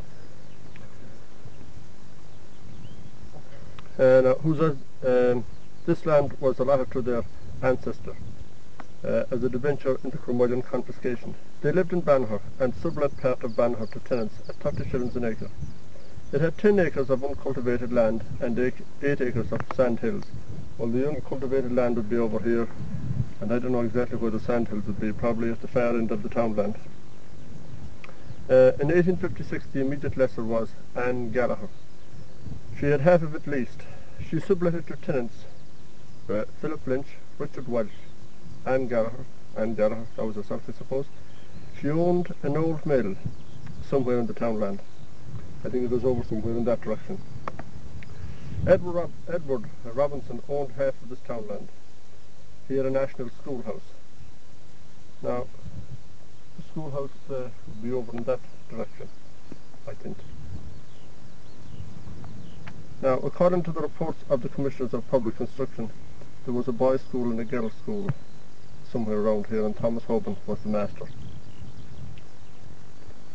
Well, uh, this was the townland of Banagher, 1856.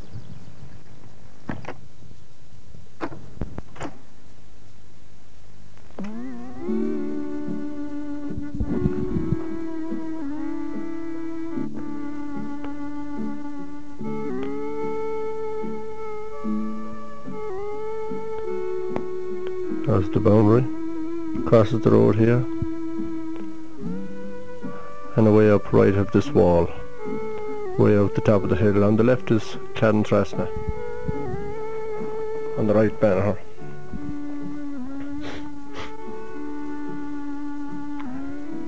New house going up there. Another one has been built over there. And uh, the public house that has replaced uh, the public house that was here belonged to Neelands or Loftus. This is the Kerryman's Inn.